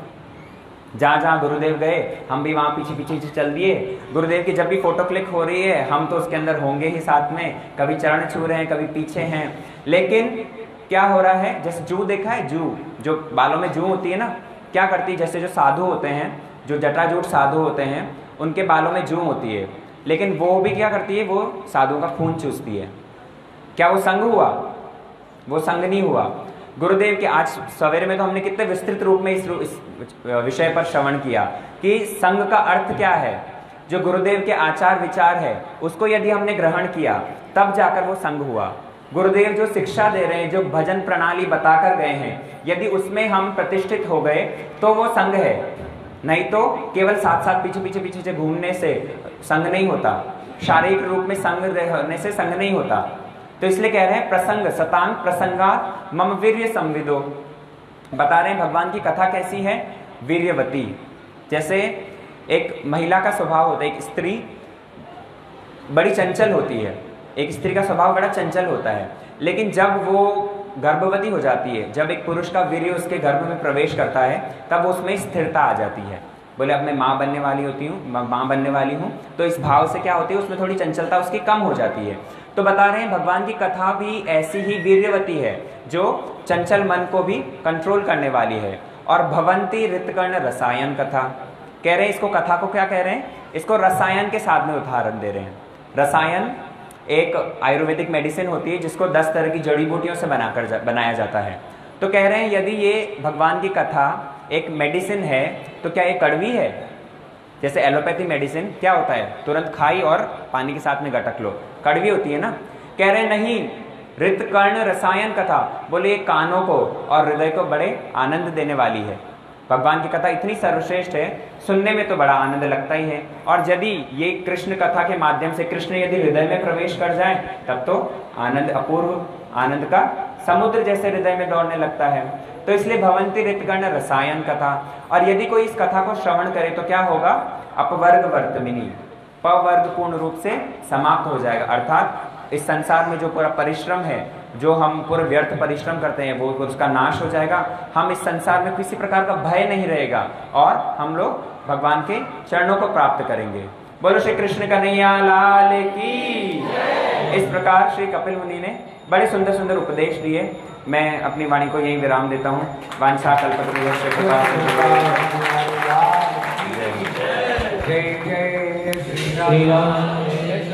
दो बोले शिव। हरे कृष्ण, हरि बोल। हरि बोल, हरे कृष्ण। हरे बोले श्री वृंदावन बिहारी लाल की आज के आनंद की जय। जय श्री राम। हम लोग ने ये माता देवकी को उपलक्ष्य करते हुए ठाकुर जी बड़ी सुंदर सुंदर ज्ञान की बात बताई। बोले माँ भले ही किसी कुल में कोई जन्म क्यों नहीं हो अगर वो व्यक्ति भगवान की भक्ति करता है अगर चंडाल कुल में जन्म हुआ जैसे गुह का चंडाल भगवान राम के भक्त थे। अगर कोई चंडाल कुल में क्यों जन्म नहीं हुआ? अगर भगवान की भक्ति करता है, वो सर्वश्रेष्ठ लेकिन अगर कोई ब्राह्मण कुल में जन्म लिया, लेकिन भगवान की भक्ति नहीं करते हैं बोले वो निकृष्ट से वो निकृष्ट है। उसका कोई महत्व नहीं। महत्व है जो भगवान की भक्ति करे भगवान ने कहा, देखो माँ, बोले, जिस समय बच्चे का गर्भ में सात महीना हो जाए, उसको ज्ञान की प्राप्त होता है।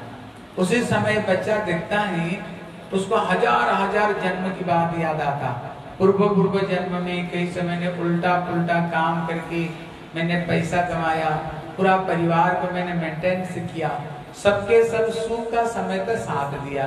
लेकिन गर्भ में जब ये दुख कष्ट भोग कर रहे भगवान कहते बोले, माँ, पेट में आना और नरक में आना बराबर है, क्योंकि पेट में केवल टाटी, पेशाब यही और कुछ है नहीं।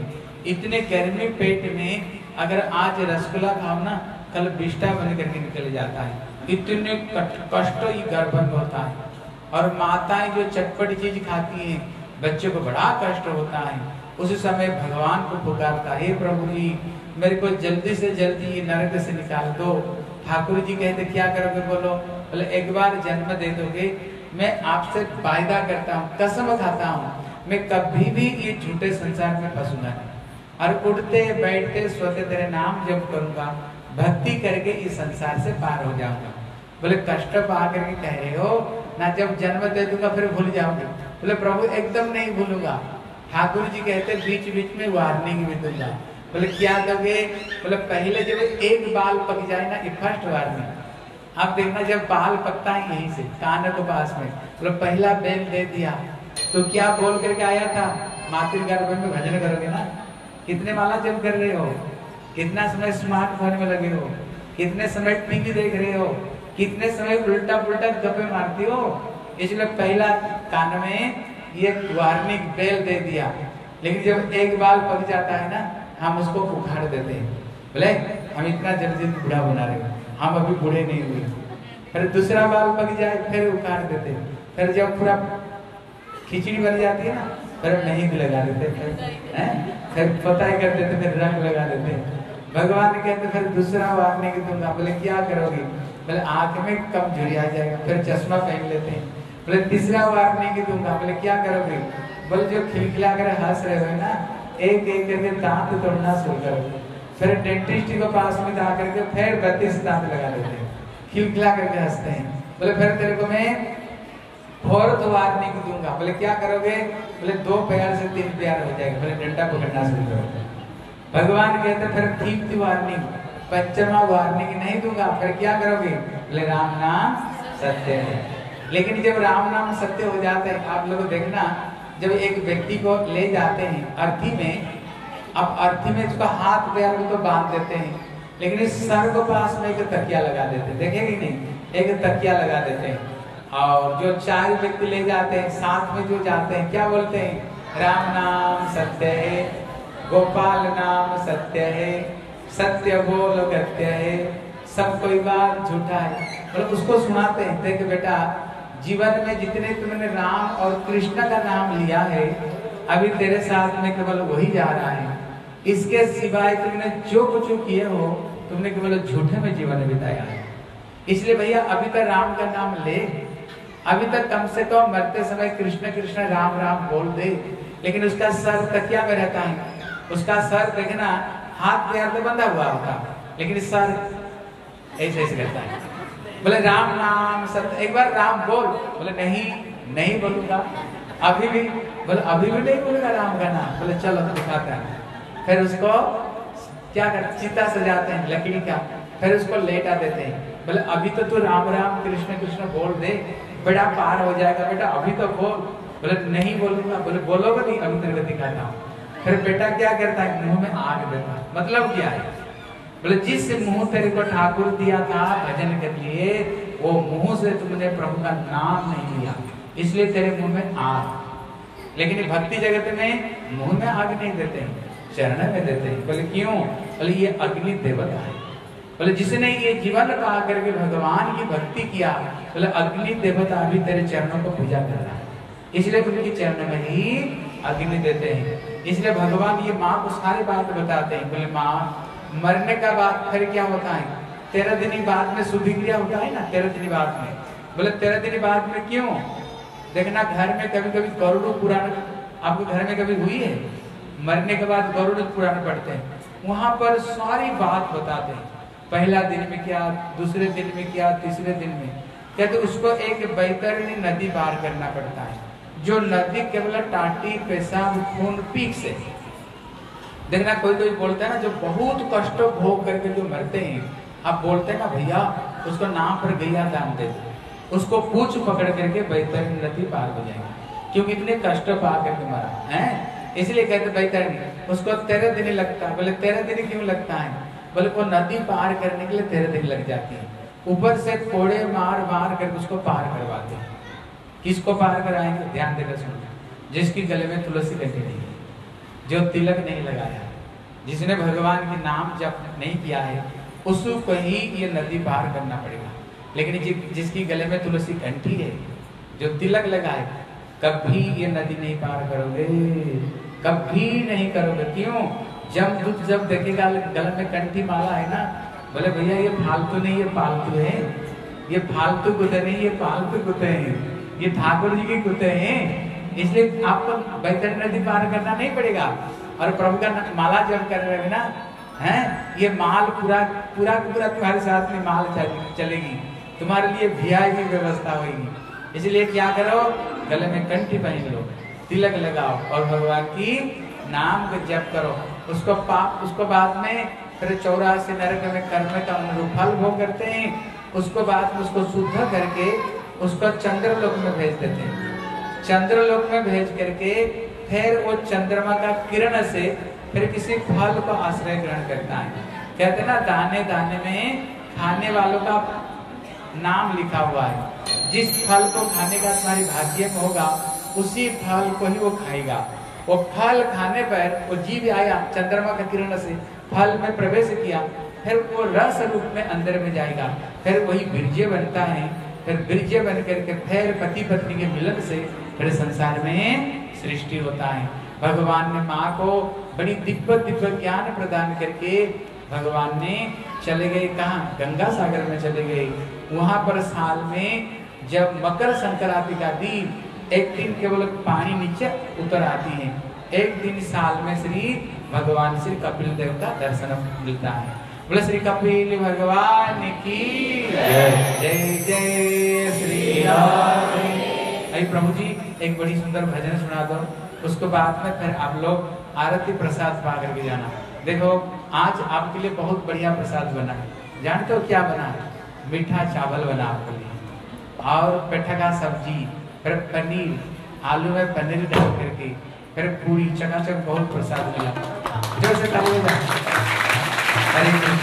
हाँ देखो इसलिए कहते इसीलिए हमारे जो प्रेमचंद प्रभु जी मित्तल प्रभु और हमारे कालू प्रभु जी जब देखा रोज रोज यहाँ क्या दे रहे हैं रोज रोज दे रहे हैं पूरी सब्ज़ी बोले भैया भी बदलनी चाहिए इन लोगों ने बोले जितना दिन तक कथा होगी ना उतना दिन तक बढ़िया मीठा चावल बना और आलू में पनीर डाल करके बना जो कुछ खर्चा हम देंगे इसलिए ये तीनों ने कल विचार करके इसलिए इनकी वजह से आज सुंदर सुंदर प्रसाद बन रहा है। इनके लिए जोरदार ताली हो अरे हमारे हाँ अभी हमारे हमारे क्या नाम है? हाँ कहते श्री तिवारी प्रभु जी, इनका पत्नी बैठी हुई है। ये जिस दिन जब कृष्ण का जन्म उत्सव होगा, इसलिए इन्होंने, तिवारी प्रभु की पत्नी, उन्होंने ठाकुर जी के लिए, उन्होंने कपड़ा, उन्होंने ड्रेस उन्होंने मंगाए कहाँ से? बोले, वृंदावन से कपड़ा लाए। और उनने कपड़ा के लिए भी उन्होंने पैसा दिया है। कृष्ण का जन्मोत्सव का दिन और ठाकुर जी को कपड़ा पहनाए और हमारे लता दीदी कहते श्री लता दीदी ने, हैं, बोले ठाकुर जी का मंदिर में जो फूल सजेगा, है, और पूरा नाट्य मंदिर तो साधारण फूल से, प्लास्टिक के फूल से सजेगा, लेकिन अंदर में जो फूल की श्रृंगार, एकदम ताजी फूल से श्रृंगार होगा हमारे लता दीदी ने, इसके लिए भी उन्होंने कुछ पैसा दिया है जिसमें मंदिर में फूल सजेगा अभी परसों भगवान की जन्म उत्सव है, इसलिए आज कुछ कुछ बच्चे लोग आए, आ करके बड़े सुंदर सुंदर फूल को उन्होंने सजाया। सुंदर सुंदर फूल उन्होंने बनाए और इसको कोशिश करके कल से इसको पूरा मंदिर को डेकोरेशन करने के लिए कोशिश करेंगे। आप लोगों का समय होगा तो आ करके जो फूल सजेगा, उसमें आ करके आप लोग मदद कर सकते हो। और परसों हम लोग कोशिश करेंगे बड़े धूमधाम से भगवान की जन्मोत्सव मनाया जाए और रात ग्यारह, साढ़े ग्यारह तक जैसे कीर्तन कथा होगी उसको बाद में फिर भगवान जन्म ग्रहण करेंगे और उसको बाद में सभी के लिए हाँ आप जितने भक्त लोग आएँगे सभी के लिए जैसे व्रत का प्रसाद है, हैं? जैसे व्रत का प्रसाद आप सभी के लिए व्रत का प्रसाद मिलेगा और उसे हर साल यहाँ पर शायद अब पिछली साल तो हुई नहीं। उसको पहले जितने लोग यहाँ दर्शन करने के लिए आए थे सभी के लिए क्या कि, किसकी व्यवस्था क्या था? सिकंद जी की। व्यवस्था की। थी जिसमें नींबू डाल करके चीनी डाल करके और देकर सारे भक्तों को दिया था। लेकिन हम इस बार सोच रहे थे कुछ बदला जाए हैं? जैसे दूध में जैसे बर्फ़ डाल करके उसमें चीनी डाल करके हैं? कुछ कुछ नया चीज़ दिया जाए। और हमारे दिल्ली मठ में क्या करते हैं? सुंदर जो, आलू की जो सब्ज़ी, उसको फ्राई करके उसमें नमक और काली मिर्ची डाल करके जितने लोग आते हैं, दोनों में सबको थोड़ी थोड़ी दोनों में वो सब्ज़ी और उसको साथ साथ में शरबत उनको देते हैं। इसलिए हमारी इच्छा है, अगर आप लोग थोड़ी थोड़ी मदद करोगे, इसके लिए जैसे कुछ थोड़ी तेल भी चाहिए, उसके लिए आलू भी चाहिए, चीनी भी चाहिए, दूध चाहिए अगर आप लोग थोड़ी थोड़ी अगर मदद करोगे हम कोशिश करेंगे परसों जितने लोग यहाँ दर्शन करने के लिए आएँगे ठाकुर जी को जितने लोग दर्शन करने के लिए आए सभी को थोड़ी थोड़ी थोड़ी देर प्रसाद मिले और उनको ए, क्या मिले? उनको थोड़ी सी शरबत भी मिले। इसलिए आप लोग कथा के बाद में अगर कुछ कुछ देना चाहते हो अगर दे सकते होगा हाँ? प्रभु जी फलाहार तो जो भक्त लोग आएँगे, उनके लिए तो जैसे एकादशी का दिन जैसे हम लेते होते हैं, जैसे यहाँ पर तो बनाएँगे, लेकिन हम चाह रहे थे जितने लोग दर्शन करने के लिए आते हैं, जैसे आप लोगों ने सभी के लिए सिक्कर जी की व्यवस्था की थी। हाँ दो दिन? दूध और चीनी का व्यवस्था हो गई किसी ने दिए? मुकेश मित्तल प्रभु ने दिया। ठीक है, इनके लिए इनके लिए ताली हो जाओ उनका दूध और चीनी की व्यवस्था इनकी कर दी। अभी जो आलू सबको भक्तों को हम चाहते हैं, दोनों दोनों में जितने यहाँ दर्शन के लिए आएँगे जितने लोग दर्शन आते हैं ना, बहुत सारे लोग दर्शन के लिए आते हैं हम चाहते जब दर्शन करते हुए जाएँगे, आप सभी के लिए तो आप जो कथा सुनोगे, आप सभी के लिए तो यहाँ प्रसाद की व्यवस्था है लेकिन जो दर्शन करके चले जाएँगे हम चाहते हैं उनको हाथ में दोने दोने में थोड़ी थोड़ी उनको प्रसाद भी व्रत का थोड़ी सी प्रसाद मिले। है, है ना? हाँ इसलिए अगर आप लोग सभी थोड़ी थोड़ी थोड़ी थोड़ी देंगे फिर तो हम चाहेंगे कोशिश करेंगे जैसे सभी के लिए थोड़ी थोड़ी थोड़े में प्रसाद भी सबको मिले और शरबत भी मिले। ठीक है? बोले श्री वृंदावन बिहारी लाल की जय। जय श्री राम। बढ़िया प्रभु जी नाचने वाला बोलो श्री वृंदावन में हरिलाल की जय।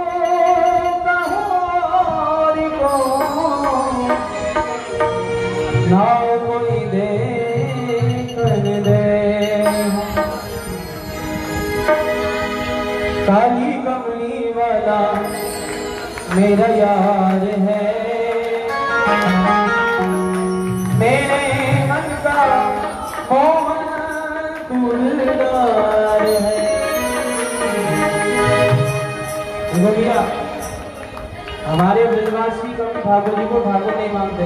कोई कहे, हमारा लाला है, कोई कहे, हमारा सखा है, कोई कहे, हमारा बंधु है। भगवान तो बहुत कम मानते हैं। तो आइए हम और आप सभी हमारे भाव से जिनको नाचना आता है, वो नाच करके ठाकुर को ले जाएँगे। और जिनको नाचना नहीं आता, वो बैठे के सेवा करेंगे।